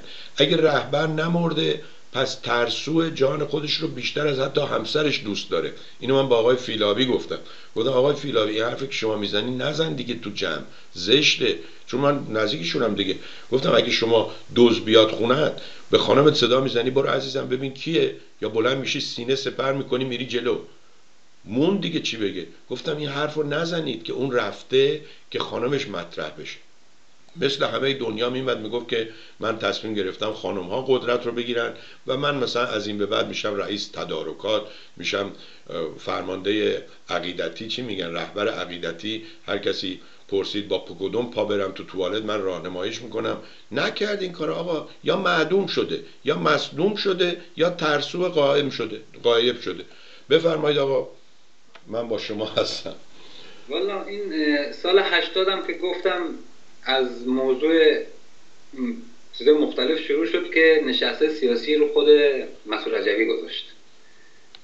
که به قول خودش اول سیاست بعد ایدولوژیک که بحث سیاسی جنگ و همه چی رو چیز کرد. حتی اونجا هم برگشت گفت گفت که ما مخالف این جنگیم به شدت مخالف. خب معلومه مخالفه. چون دولت عراق معلوم دیگه آخراشه. دیگه نمی‌تونه تو عراق اون آنچنانی به تازه برای خودش هر جایی بتونه بره اسکورت داشته باشه فلان داشته باشه. یعنی جای موندن نیست براش. نشسته ایدولوژیک شروع شد. از کجا هم شروع شد؟ رفتیم توی نشست. روزه بعد از نشست سیاسی بود. یه روز رفتیم تو نشست. همین بحث کردن کاره. نمی‌دونم بحث محفل رو کرد. آره من سال 74 این گوش زده کرده بودم. چرا؟ نمی‌دونم این موضوعات پیش اومده دوباره و خلاصه یه نوکی به این زد بعد دیگه ما اومدیم تو مقالاتمون. همه هم اون موقع تو باقرزاده جمع بودن. اونجا شروع شد. یکی از این مسئولی که مسئولین زن که توی ده شهریور اسمش یادم رفته. یه سبز چرده بود. اون موقع معاون قرارگاه ما بود. یعنی جانشین قرارگاه ما بود که اگه یادم باشه اسم فرمانده یادم چهرش تو ذهنم ولی اسم فرمانده قرارگاه ما از الاماره اومده بودیم. خلاص این بحث محفل شروع شد و نشست گذاشتم تو چرا حرف می‌زنی؟ تو چرا حرف می‌زنی؟ تو چرا با این راه کم کم هی ادامه پیدا کرد. یه جا من داشتم یه صحبتی می‌کردم. یک دفعه به گفتم که گفت که تو بشین سر جات بعد باد کار داریم من همینجور جا زدم یعنی جا خوردم در لحظه. یعنی چی؟ دیگه ما هی گزارش باید بخونیم پروژه باید بخونیم نمی‌دونم فلان باید بیاری این کار باید بکنیم چی رو این کشید به نشست خود مسعود رجوی. تو نشست مسعود رجوی ما اومدیم در تایید حرف یک دختر یه چیزی بگیم. یک دفعه دیدم محوش سپهری برگشت گفت از دست این یکی دیگه عاجزیم. شده رئیس باند سر باند شده. ما نمی‌دونیم چی کارش بکنیم با این همه محفلاش. گفتم که من محفل داشتم. آره تو محفل داشتی. با کی؟ حالا یه فتولا فتی با داشتیم خب یه زمانی فرمانده ما بودیم فتولا فتی. به اون می‌گفتن پاسدار فتی اون موقع. داخل بود. یه دیگه تموم کرده بود. این هم جریان مفصلی داشت که با هم بودیم. کجا بود تمام کرد؟ تو چه عملیاتی بود؟ این تموم کرد که ما جز پشتیبانی اینا بودیم. دیگه فاتحش خونده شده بود. اونو بهش بودن پاسدار فتی چون دیگه کنار کشیده بود اون موقع توی چیز بود. منظور شما از تموم کرد چیه؟ میگید تموم کرد منظورتون چیه؟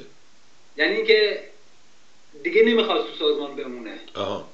در... سازمان جز بریده ها بله در رابطه با همین آقای آتیلا دوستان ببین یکی یکی نوشتن که یک سال اون زندان بودم دو سال اون زندان بودم.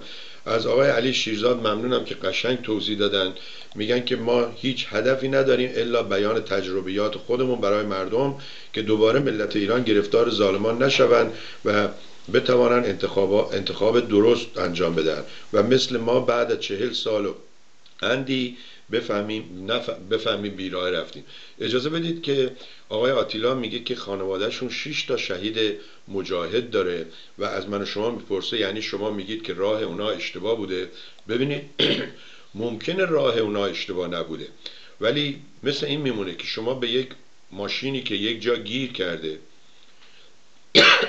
عوض می‌خوام. کمک می‌کنید هلش می‌دید. وقتی این روشن میشه را میفته میره راننده خوبی نیست چون راننده هم آمده پایین. هل بده به این ماشین. یه نفر نشسته پشتش این ماشین رو می‌بره می‌زنه به کو مشکل ما... ما کسی نگفته خانواده شما اشتباه کرده. کسی نگفته اونایی که انقلاب کردن اشتباه کردن.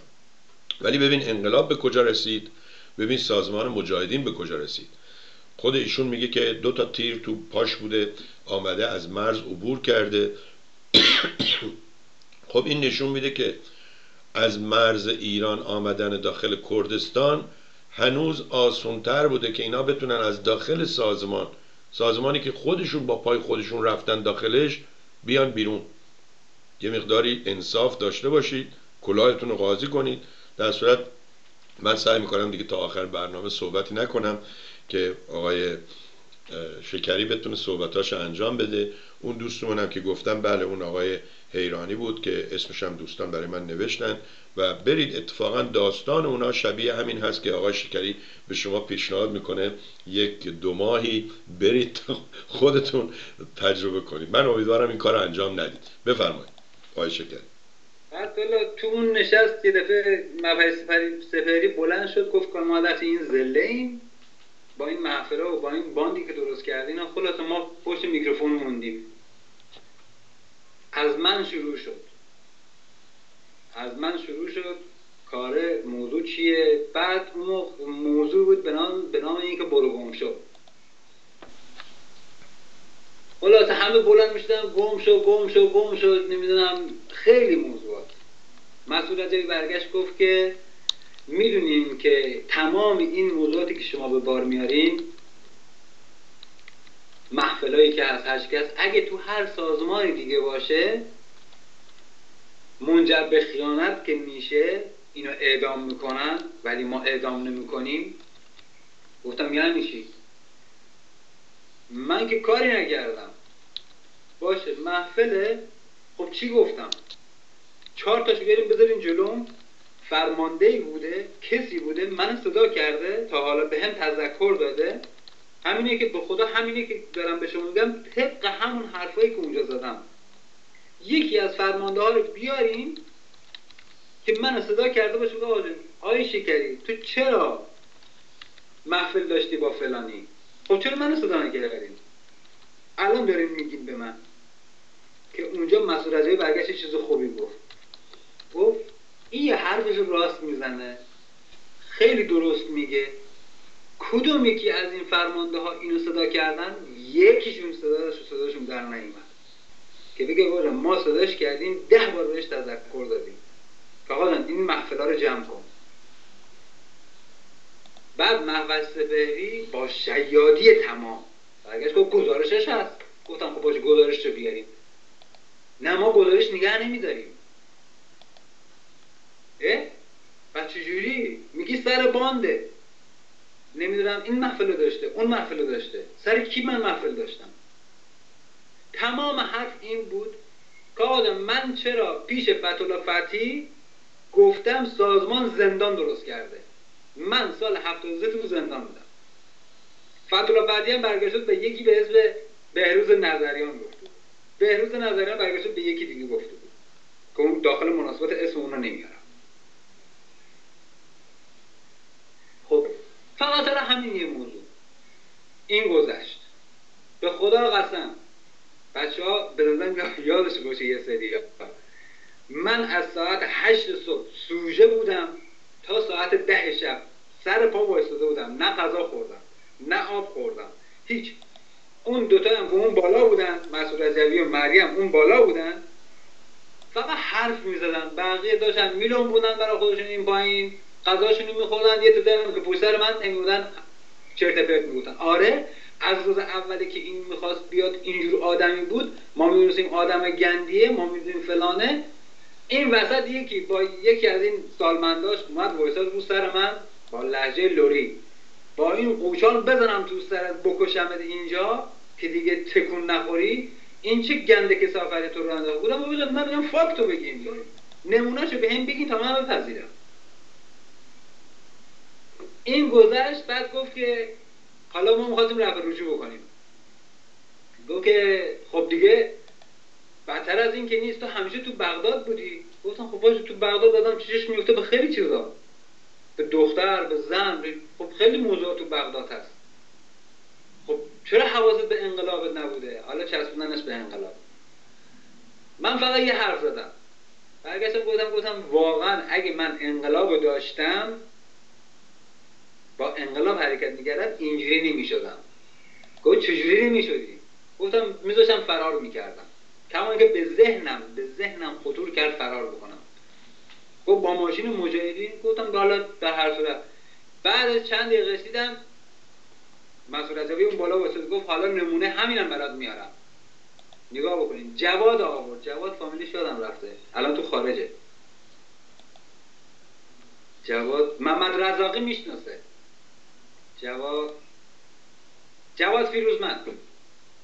بله بله برنامه های ایشون ما پخش می‌کنیم. گهگاهی که ویدیو درست می‌کنن کانون آبا ویدیوهاشون ارسال می‌کنن و ما هم پخش می‌کنیم. ضمنا آقای آتیلا از شما همه خداوزی کرد باید می‌رفت. ما هم امیدواریم که بیشتر برنامه ها رو نگاه کنن و با همین صبر و حوصله بتونیم حتی اگه با هم مخالف هستیم با هم صحبت کنیم. ایشون نوشته که بنده از دو قوم ترک قشقایی و لور لورستانی هستم. و تا جان در بدن دارم هوادار مجاهدین خواهم بود. شما آزاد هستید که هوادار باشید و شما نوشتید که اگر مریم تنهای تنها هم باشه من یکی کنارش خواهم ماند. دیگه حالا منم توصیه می‌کنم که شما حتما برید چون واقعا مریم تنهای تنها شده. دوستان توضیح داده بودن که اینها قبل از جنگ و اینها می‌گفته که من و مریم در یک تانک خیلی جالبه. کسی که به افراد میگه با از زنتون جدا بشید که به فکر نباشید و فلان طلاق بدید وقتی می‌خواد جنگ کنه هم حتی میگه من و مریم تو یه تانک لابد اونجا اتاق خواب و اینام داره. در یک تانک حرکت می‌کنیم قبل از همه. بعد ایشون نوشته که کاشف به عمل آمد وقتی جنگ شد و آمریکایی‌ها آمدن اینا یکیش نمی‌دونم فرانسه بود یکیش یه جای دیگه بود اصلا اونجا نبودن. و اون در تانک اولم دیدیم که خانم نشسته بود فریاد می‌زد هم چی؟ آتش آتش حمله حمله هم چیزی و چه افتضاحی به بار آوردن و اصلا میشه گفت ریزش مجاهدین از اون حمله دیوانواری بود که بعد از قرارداد صلح ایران و عراق کرده بودن. ولی به نظر من بازم خوبه که آقای آتیلا خیلی با صبر و حوصله حرف شما دوستان رو گوش داد. ما هم من فکر کنم خیلی از دوستانی که امروز از سازمان جدا شدن کسانی بودن که ممکنه اول اعتراض می‌کردن به دوستان دیگه که به اصطلاح میان این حرفا رو می‌زنن ولی خودشون دیدن که اگر بیان برن دنبال کارشون حقیقتا وظیفهشون رو انجام ندادن و اینها یک دینی دارن به مردم که بیان بگن چه گذشت که اونها فریب نخورن. من ساکت میشم و میکروفون در اختیار شماست. مرسی. منم که تو اون مدت دیگه تو اون جلسه نشستا نشسته خیلی طولانی که بودیم جواد فیروزمند آوردن سر اون موضوعات مختلف خیلی آوردن. حتی اون فرمانده فتولا رو آوردن. انقدر واقعا میگم مزخرفات سر اون می‌گفتن. بعد آخرش خود مریم رجوی منکر این شد که فرمانده فتولا فرماندهی فرار مسعود با داشته. منکر اینم شد. بعد یه تعداد دیگه اومدن پشت بلنگوش سر همین صحبت که آره کی گفته؟ از همین مسئول بالا. کی گفته؟ کجا فرمانده فتولا این کار کرده؟ حالا چرا سالهای قبل اینو تو بوقو کرنا می‌کردن؟ آره فرمانده فتولا ببین چیه؟ فرماندهی همچین نگاه کن وقتی که یک موضوع رو توی یک جمع یک سال قبل چند سال قبلش یه چیزی میگن بعد تو این جلسه یه چیز دیگه میگن آدم خودش متناقض میشه که این چه سازمانیه؟ سر اشکال مشکلی که یک نفر داره اینجوری می‌زنن تو سرش. میذارنش تو کورنر داغونش می‌کنن. خب این چه سازمان انقلابیه؟ خب معلومه بره خط خطش عوض می‌کنه.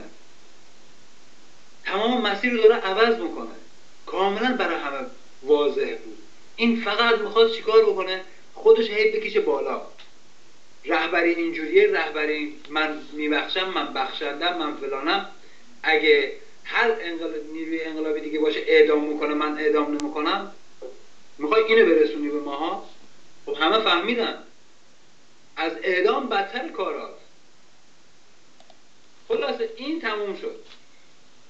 این نشست ها تموم شد. ما خب حرفامون هم زدیم گفتیم دیگه دست سرمون برداشتن دیگه.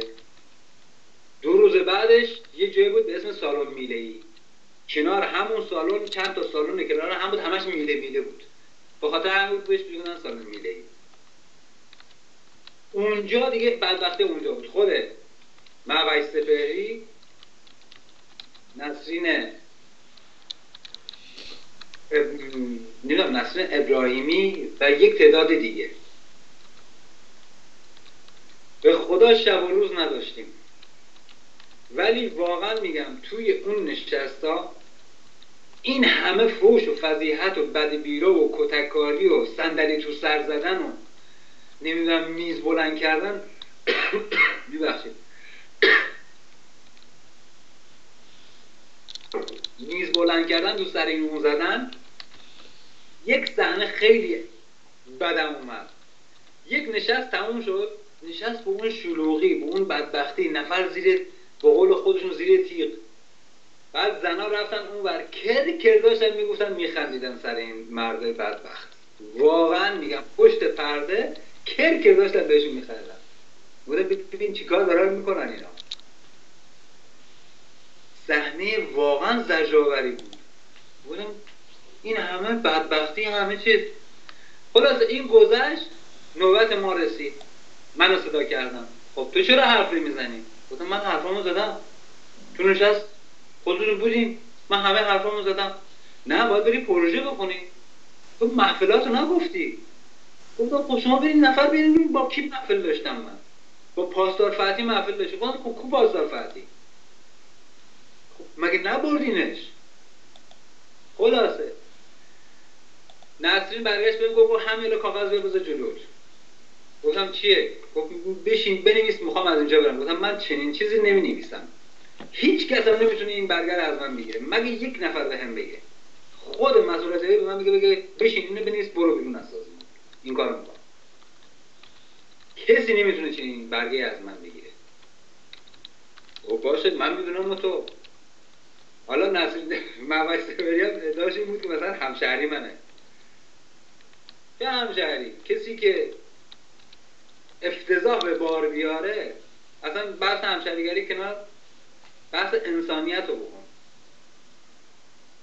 کسی که واقعا انسانیت تو وجودش یک سر سوزن نمونده می‌خواد رحم و مروت داشته باشه عمرم هر کاری که من ننوشتم.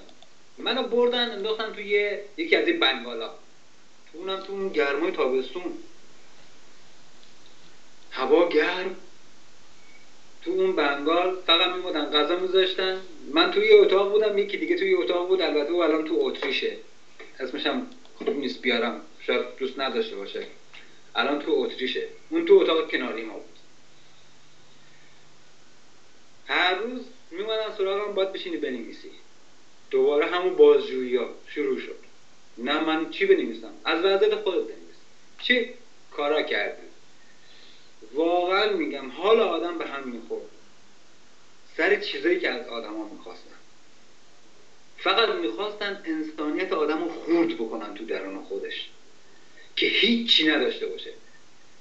مثل یه آدم آدم آهنی بشه که فقط بگه چشم اطاعت چشم اطاعت. بره انجام بده بیاد بگه این این کار کردم اینجوری می‌خواستم. منم زیر بار نمی‌رفتم. دوباره من صدا کردم تو اتاق نصری. همین محفظ دهری گفت چی شد؟ گفتم نمی‌نویسم. گفت تو تعهد میدی دیگه وارد محفل نشی؟ گفتم من محفل نداشتم. باشه. شما این تعهد نگم باش. تعهد میده. ولی من محفل نداشتم. خلاصه. اونجا هم بازم یه چیز برگشت بگم گفت گفت نگاه کن مزدور من می‌دونم چیکار بکنم با تو من فقط وایسم نگاه کردم. البته یه جا گریم گرفتم. اینو دروغ نمیگم. یه جا گریم گرفت که خیلی به هم فشار داشت. یک زنیکه حراف معذرت می‌خوام. زنیکه حراف حرزه برگرد من بگه موضوع سر این خیلی تحت فشار بودم. ولی یک جایی حقشو می‌ذارم کف دستش. به همین سادگی از سرش نمیگذرم. که خیلی من زرج داد خیلی هم ده روز تو بنگال بودم تو اون گرما. فقط آب و غذا میبردم میذاشتن جلو دستم بعد یه خودکار و کاغذ میبردن که بنویس بودم نمی‌نویسم. تا آخرش دوباره ولم کردم. آوردنم بیرون. آوردنم بیرون رفتم دوباره شروع کردیم. یه تعدادم که این معذرت می‌خوام. از این سگای پاچه گیر تو نشست مختلف گیر می‌دادم. یه نشست برام گذاشتم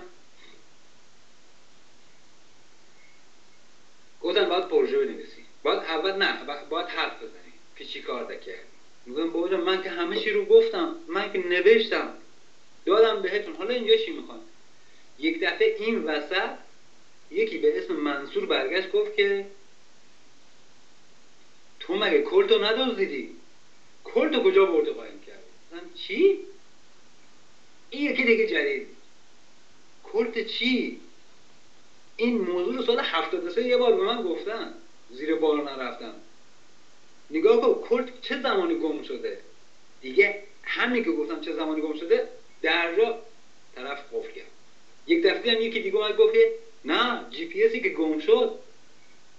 جی پی اس سال 78 گم شد چی؟ کی گمش کرد؟ گفتم چه می‌دونم. من که خودم تو صحنه بودم من جی پی اس تحویل دادم دادم به فلانی. من کجا بدم جی پی اس کجا گم شده؟ نفر با ماشین رفته تو موضع فلان جا برگشته بعد میگه میگه جی پی اس نیست. نکنه منی که اون زمان تسلیحات دارتون بودم چون من به عنوان نفر تسلیحات دار بودم یعنی سلاح و اینجور چیزا می‌دادم. امضا می‌گرفتم سلاح می‌دادم.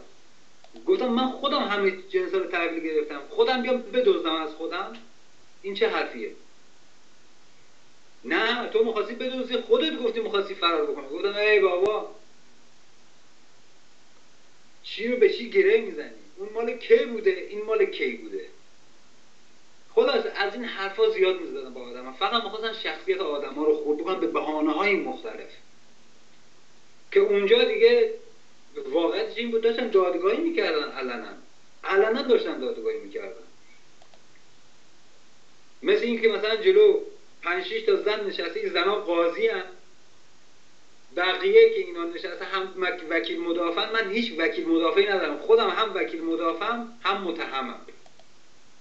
این داستان ما بود توی این فرقه. توی اون نشسته سالون می‌دهیم چون که واقعا اصلا تمام نفرات هر کی میومد به خدا میگم بعضی مثلا چرت پرت میخوندن سر موضوع اخلاقی و اینجوری اصلا خوشم نمیاد سر این موضوعات وارد وارد حرفش بشم که چه گندی که سفره می‌خونن. بعض زنه هم گوش می‌کردن. این چیه؟ نه به اینکه میگه دنبال محفلیم نه به اینکه دنبال این گندی که سفره یه سری آدما که می‌خونن. ببین چجوری خون خودش رو رو کرد دست رو کرد. این که پر واضح بود. ما که از قدیم ایام این بابا رو میشناختیم که این چند مرد حلاجه چی کار داره می‌کنن خودتون هم که خوب می‌دونید بعد می چهار تا فاکت گند کسافتش می‌خونه بعد فرقه و چهچهش می‌کنیم. این جریان این نشسته سالون میله بعد هر کیم که چیزو خیلی ها اونجا من خودم شاهد بودم. یکی دو نفر رو صدا کردن. علیرضا میراسکری بود. سر این موضوعی پیش اومده بود که بگذاریم با یکی از شوراهای رهبری داشت که علیرضا میراسکری رو صدا کردن. گفتم ماره خب من موضوع اینو گندکاری که اینا بالا بردن با اون شورای رهبری خب فلانی به من گفت. آقای شکری عوض می‌خوام از شما. برای کسانی که ممکنه ندونن محفل یعنی چی بگید که به چی چیزی می‌گفتن محفل توی سازمان. چون من خودم معمول حکومت نظامی بودم قبل از انقلاب. اونجا وقتی می‌گفتن به اصطلاح جمعیت های بیش از سه نفر رو برید بگید که باید برید نمی‌تونید با هم وایسید. شنیدم یه همچین چیزی توی سازمان بوده یعنی نشون میده که عین این که شما همیشه توی حکومت نظامی زندگی می‌کردید برای دوستانی که متوجه نیستن. بعد یک ماجرایی هم که میگن مگر فرقه رجوی ادعا نمی‌کنه که ما مخالف اعدام هستیم. چطور در همین نشست های سال 1180 شعارهای اعدام اعدام می‌دادند و سران فرقه رجوی حکم اعدام نفرات را می‌دادند که رجوی ادعای خداگونه می‌کرد و تایید می‌کرد که باید اعدام شوند اما آنها را میبخشد. اگه اعدام قبول نداری دیگه لازم نیست شما ببخشینشون. میگی نه ما جرم اعدام نداریم. ولی میگه که نه باید اعدام می‌شدن ولی من میبخشمشون. یکی درباره محفل صحبت کنید. به چی می‌گفتن محفل؟ یکی بله. سازمانی که اعدام می‌کنه اعدام نباید باشه. چرا خودش به حتی افراد خودش تهدیدشون می‌کنه با اعدام بفهم من حقیقت سر این محفل خب بحث همین بود. جمع بیش از سه نفر بیش اینجا اینجا دیگه می‌گفتن بیش از دو نفر. که یه مدت هم مثلا بودن چرا با فلانی میچرخی اینقدر؟ میگن بابا خود میگه خب یکی تو یگانته. با همین تو یک دسته هستین تو یک تانک هستین. خب با چرا با این دوست نمیشی؟ بعد یه مدت که باش خیلی دوست میشی؟ و میگن چرا با فلانی محفل داری؟ یعنی تجمع بالای دو نفر تا سه نفر رو که با هم میشینن صحبتاشون می‌کنن. حالا هر صحبتی مثلا من در تو با خانوادم حرف زدم میگن این محفله این ضد ارزشه. مثلا در رابطه با ایران صحبت کنم. این ضد ارزشه. در رابطه با نمی‌دونم فلان فیلم صحبت کنیم. این ضد ارزشه. در رابطه با فوتبال صحبت می‌کنیم. خب مگه فوتبال رو ندیدیم چرا اینقدر سر فوتبال شما صحبت می‌کنیم خب این فوتبال آخرش راه میاره به محفل ببین چجوری وارد میشن دونه بدونه قدم به قدم. آقا جان می‌خواد اینو به تو بگه بگه این تو باید همیشه توی خودت باشی نه بیرون. با کسی رابطه داشته باشی با کسی حرف بزنی. وقتی که تو تو خودت باشی همه چی رو تو موضوع سازمان می‌بینی. یعنی اون حرفی که سازمان بهت میگه اون تو کلته نه موضوعات دیگه تو کلت باشه. نه اینکه بحث فوتبال بحث فیلم سینمایی تو فیلم سینما رو تو چی می‌بینی؟ من خودم تو صحنهش بودم و تو هم بودم. فیلم سینما تو چی می‌بینی؟ بخواد بیاد یک صحنه از یک زن یا یک دختر ببینه. سینهش باز باشه یا هر چیز دیگه. بعد اینو بده تبدیل به محفل بکنه. آه دیدی؟ اینا برای سازمان ضد ارزشه. یعنی انقلاب مریم سوراخ میشه. به خاطر همین هیچ وقت موافق نبودن سه نفر دو نفر با هم بشینن با هم صحبت بکنن. دو بار سر یک میز می‌دیدن بار سوم صدا می‌کردن شما چرا همیشه سر یک میزی خب چیکار بکنیم؟ خب نمی‌تونیم بریم سر اون میز بشیم چون اونا انقدر شلوغ می‌کنن سر نمی‌ذارن اخبار گوش ای شما دارین اخبار گوش می‌کنین یه چیزی نمی‌گفتن یعنی اصلا حرفشون خط کارشون همه چیشون آدم متناقض می‌شد که این چیکار دارن چی می‌خوان؟ از آدما چی می‌خوان؟ می‌خواد ربات باشه طرف؟ آره ربات باید باشی چشم حتما چشم بله چشم بله فرمانده بله من این کارو می‌کنم. روزانه از خودت. تمام مزخرفاتی که به ذهنت می‌زنه باید بنویسی بذاری دست فرمانده. این خط کارش می با کی حرف زدی؟ با کدوم یکی از همیگانیات نشستی صحبت کردی؟ سر چی صحبت کردی؟ خب این برای اونو محفل بود. یعنی چی؟ این تمام جنگ دعوایی که بود سازمان نمی‌خواست کسی با هم دوست بشه با قول خودشون با هم چفت بشه اینو محفل محسوب می‌کرد. نمیذاشت با هم باشی حتی دو تا برادر که با همن از هم جداشون می‌کردن.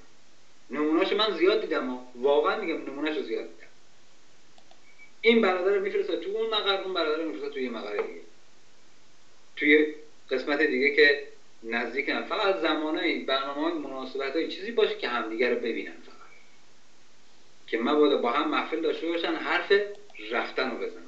بله آقای شیرزاد آقای علی شیرزاد نوشتن که در تشکیلات می‌گفتن فقط با مسئولت می‌تونی حرف بزنی.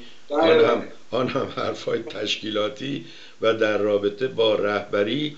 ولی یه نکته آقای احسان بیدی میگه که حکم مرگ ما را که علنا در تلویزیون خودشون سیمای آزادی صادر کردن.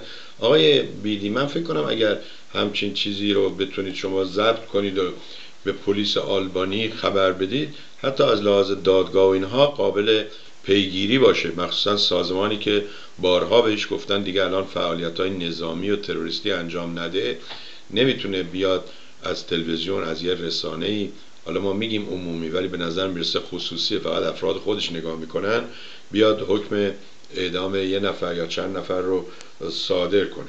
در صورت من ممنونم از شما دوستان. ما امروز حدود سه تا تاپیک و دوازده تا پرسش داشتیم. فعلا به چهارمیش رسیدیم. ماشاءالله آقای شکری هم شکری هستن و هم صحبت که می‌کنن خیلی دلنشینه و باز هم اگر سوالی دارید یا نظری دارید حتما ارسال کنید.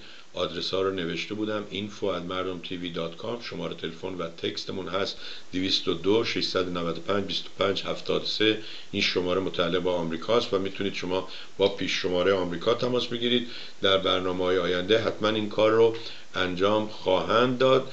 بعد ماجرای سوال پنجم فعلا. در آلبانی و عراق سازمان به چه دروغ و دقلهای خود را آویزان می‌کرد که نفرات فرار نکنند؟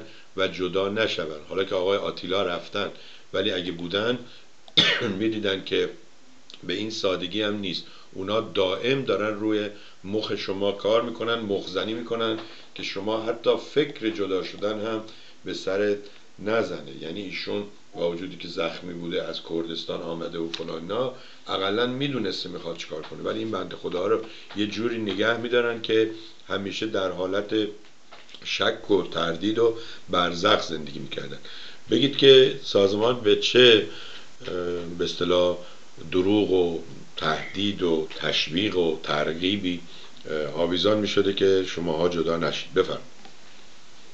البته اون سوال قبلی یه چیزی باقی مونده بود. من واقعیت من بگم سر بحث اعدامایی که تو نشسته مسئول ادبی گفتن نفرات دست بلند می‌کردن اعدام اعدام. من چون که ده روزی که توی اون بنگال بودم در جریان اون ده روز نبودم. ده روز نشسته به کوب خود مسئول رجبی که همه رو به این نقطه رسونده بود. شنیدم از دوستای دیگم که همشون به هم گفتن. گفتن نگاه با تو نشست همچین موضوعی بود. اگه بودی دیگه تمام شده بود. میبردن اعدامت می‌کردن. گفتم چرا؟ گفتم یه تعداد بلند شدن بحث اعدام رو پیش کشیدن. گفتم کیا؟ دیگه گفت بیشتر از این وارد نمیشی گفتم باشه هر جوری خودتون دوست دارید ولی اینو قبلا اشاره کردم. مسعود رجبی همیشه می‌گفت. می‌گفت نگاه کن تو نیروی انقلابی دیگه اعدام هست. ولی من اجازه نمیدم. ما نیرویی نیستیم که بتونیم اعدام بکنیم. ولی هیچ شک نداشته باشیم هیچ شک نداشته باشیم این کارو می‌کنه و کرده اما هیچ شکی ندارم. چون از جریان حمزه رحیمی میگم. از جریان سال 73 میگم. حتما این موضوع هست. یک روزی تمام این موضوعات اعدام های نفرات برملا میشه. مثل همین جریان زندان سازی حالا بریم سر سوال بعدی که شما کردیم. والا یک نمونه بگم از توی عراق. توی عراق چجوری آدم ها رو به رو وحشت مینداخت که کسی بیرون نکشه یا فرار نکنه؟ هتل مهاج... هتل مهاجر بغداد رو تبدیل به شکنجهگاه کرده بود تو ذهن ما. تبدیل به زندان کرده بود. تبدیل به محل بمبگذاری تبدیل به محل تروریستی اینجور چیزا. ما خب میترسیدیم. بابا تو حساب بکن 23 سال 24 سال 25 سال 27 سال 30 سال بیرون نیستی تو اجتماع نیستی تو مردم نیستی. یک سویه یکی داره یک حرفی رو می‌کنه تو کلت وقتی می‌خوای به بیرون فکر بکنی میگه خدا من برم بیرون چیکار بکنم؟ این که داره اینا رو میگه. هر حتما حرف این درسته. اخبار مال اون بود. بمبگذاری تو بغداد. خب این داشت می‌گفت. بعد سی ان هم CNN یا خبرگزاری دیگه همین بمبگذاری رو می‌گفتن خب این تو کله ما می‌گفتیم اگه بریم بیرون واقعا معلومه یه روز دوام نمیاریم کشته میشیم. هتل مهاجر که کلا تبدیل به شکنجهگر میشه. مسئول میگه میگه هر کی از اینجا که از اینجا میره بیرون میره سمت رژیم حتما میره تیر خلاص می‌زنه. یعنی چی؟ واقعا تو کله ماها این نشسته بود.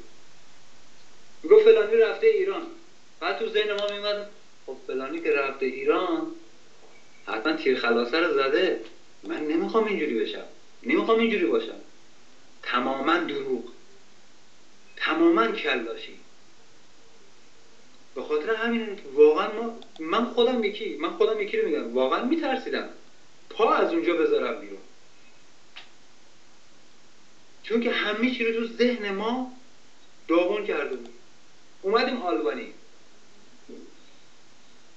تو آلبانی خب دیگه عراق نبود که یکی بیاد مارک چیز بزنه. تو آلبانی همین که ما کشیدیم بیرون به عنوان نیروی هوادار نیروی هوادار سرسخت. الان تو نیروی هوادار سرسخت ما خب ما اومدیم بیرون. خیلی راحت هم اومدم بیرون. چون که خودشون می‌دونستن من از عراق بیام تو آلبانی بیرون کشیدم. چون تو عراق درخواست داده بودم حالا ماجرای اونم هست. ماجرای اونم هست که می‌خوام دروغ اونجا رو برملا کنم که اینا گفته بودن اه این ده ها بار با کمیساریا ده ها بار با آمریکایی ها اون فرامرز تو مصاحبهش داشت می‌گفت. چرا اونجا نرفت؟ اونم توضیح میدم. من که تو لیبرتی هم درخواست دادم گفتم بیا. ظرفیت کشیدن تشکیلات رو ندارم. می‌خوام برم. انقلاب دیگه نمی‌کشم. نمی‌تونم حرفاتون قبول بکنم باور بکنم. اما بقول خودشون فرمانده نیرویشون بودم. بلا فاصله گذاشتم رو میزشون گفتم نمی‌کشم. نمی‌تونم دیگه. منو بفرستیم برم. حالا بگذرم. که سر این اینم داستان مفصلی داره. توی آلبانی خب من راحت اومدم برگر نوشتم دادم. جواد خراسان با یکی دو نفر دیگه اومدن وسیله‌مو بازرسی کردن. گفتن دیگه می گفتم آره دیگه می‌خوام برم. نمی‌تونم. گفتن خب میری بیرون باید سرخا رو رعایت بکنی فلان بکنی این کارو بکنی اون کارو بکنی. گفتم باش فقط می‌خوام از اینجا برم بیرون راحت بشم. ما برگر رو دادیم. جواد خراسان هم امضا کرد. ما هم یه چرت پرتای جواد خراسان برای ما بلغور کرد. ما نمیشیم گذاشیم جلو دستشو زدیم رفتیم. حالا فرد پس فردا همین چرت پرتا رو میاره می‌زنه تو سایت چون دستشون برای ما روه. راحت میاره می‌ذاره تو سایت تو سایت های ورقباره خودشون. سایت مجاهد نمی‌دونم. مثل جریان همون اشپیگل اشپیگل رو گذاشت توی سایت شورا شورای ملی مقاومت به اسم این که بخواد تروریست رو بهش بشستونه جرأت نکرد. بلا فاصله دو روز بعدش برش شباش گذاشتش تو چی؟ تو ایران افشا کرد تو اون ورقباره دیگهش. خب معلومه دستش پر نیست. واقعیت رو باید گفت. من واقعیت وقتی که میگم پاشم هستم. دونه بدون همین حرفا رو هر جای دادگاه باشه من میشنم حرف میگم مگه اینا نبود؟ از چیزی ترسی نداریم ما. عمرمون که رفت حالا گذشت تموم شد. ولی رو باید آدم باید حقشو بگیره دیگه حرفشو بزنه. کجا باید بزنه؟ بهتر اینجا همینجا. با هر خبرگزاری دیگه هم باشه من حرفم می‌زنم. حالا اومدیم تو تیرانا. تیرانا من جدا شدم. گذشت. هفته اول هفته دوم ما یک ماه گذشت. چرا با فلانی میچرخی؟ خب چیکار داری؟ من آزادم من بیرونم. خب فلانی چیکار داره بکنه؟ یعنی تو بیا جاسوسی بقیه رو بکن. بابا من چه ربطی داره این چیزا رو می‌پرسی؟ یعنی می‌خوام بگم دونه بدون این موارد. میگم کیا کیا کار خلاف می‌کنن؟ چه می‌دونم؟ بعد این کار خلاف رو چیکار می‌کنه؟ برای داخل می‌خونه. فلانی و فلانی بر سر نمی‌دونم فلان چیز افتادن زندان آدما رو بترسونه که بیرون نیان دیگه. فلانی مثلا سر من خودم نوشته بودن که غلامزاده شکری معتاد شده. من معتاد شدم. منی که همه می‌شناسن. یه سرم تو باشگاه اصرا بعدشم تو خونم بعدشم سر کاربارم هم. کجا معتاد شدم؟ من یه سیگارم به زور دارم می‌کشم. لب به هیچ مشروبی هم نمی‌زنم. توی این خراب شده. بعد میان شما اینجوری میگین خب بیاین رو بکنین. اگه چیزی در چنته داریم بیاین رو بکنین. فقط به خاطر ترسوندن آدم های توه فلانی چند نمیان کی افتاده زندان سر نمی‌دونم کسافت کاری داشته. یعنی اگه شما هم بیرون همین بلاها به سرتون میاد. یعنی می‌خوام میگم آدما رو چجوری میترسونن با این روح و وحشت؟ خب طرف اون توه. بیرون خبر از هیچ اخباری نداره. با هیچ کس هم نمی‌تونه رابطه داشته باشه. این نفرات که میان بیرون برای همین خرید. همین نفراتی که میان میفرستن میان بیرون برای خرید که ما همیشه میبینیمشون. یه فرمانده بالا باشون با دو تا نیرو. دو تا نیرو جلو فرمانده پشت که هوا هوا اینا رو داشته باشه در نرن یه موقع. بعد اینا کلا می‌ذارن سر سرشون پایینه که هیچ زنی رو نبینن. دچار لحظه بشن با خودشون. بعد تو مسیرهایی برن که همه تو اون مسیرن همه نفرت خودشون تو اون مسیرن. مناطقی برن که شناخته شده است که اگه کسی در رفت بتونن سریع جلوش بپیچن. خب، تمام این موضوع برای ترسوندن آدم هاست نقاط مشخص خرید دارن اینا. فقط برن اونجا خرید بکنن.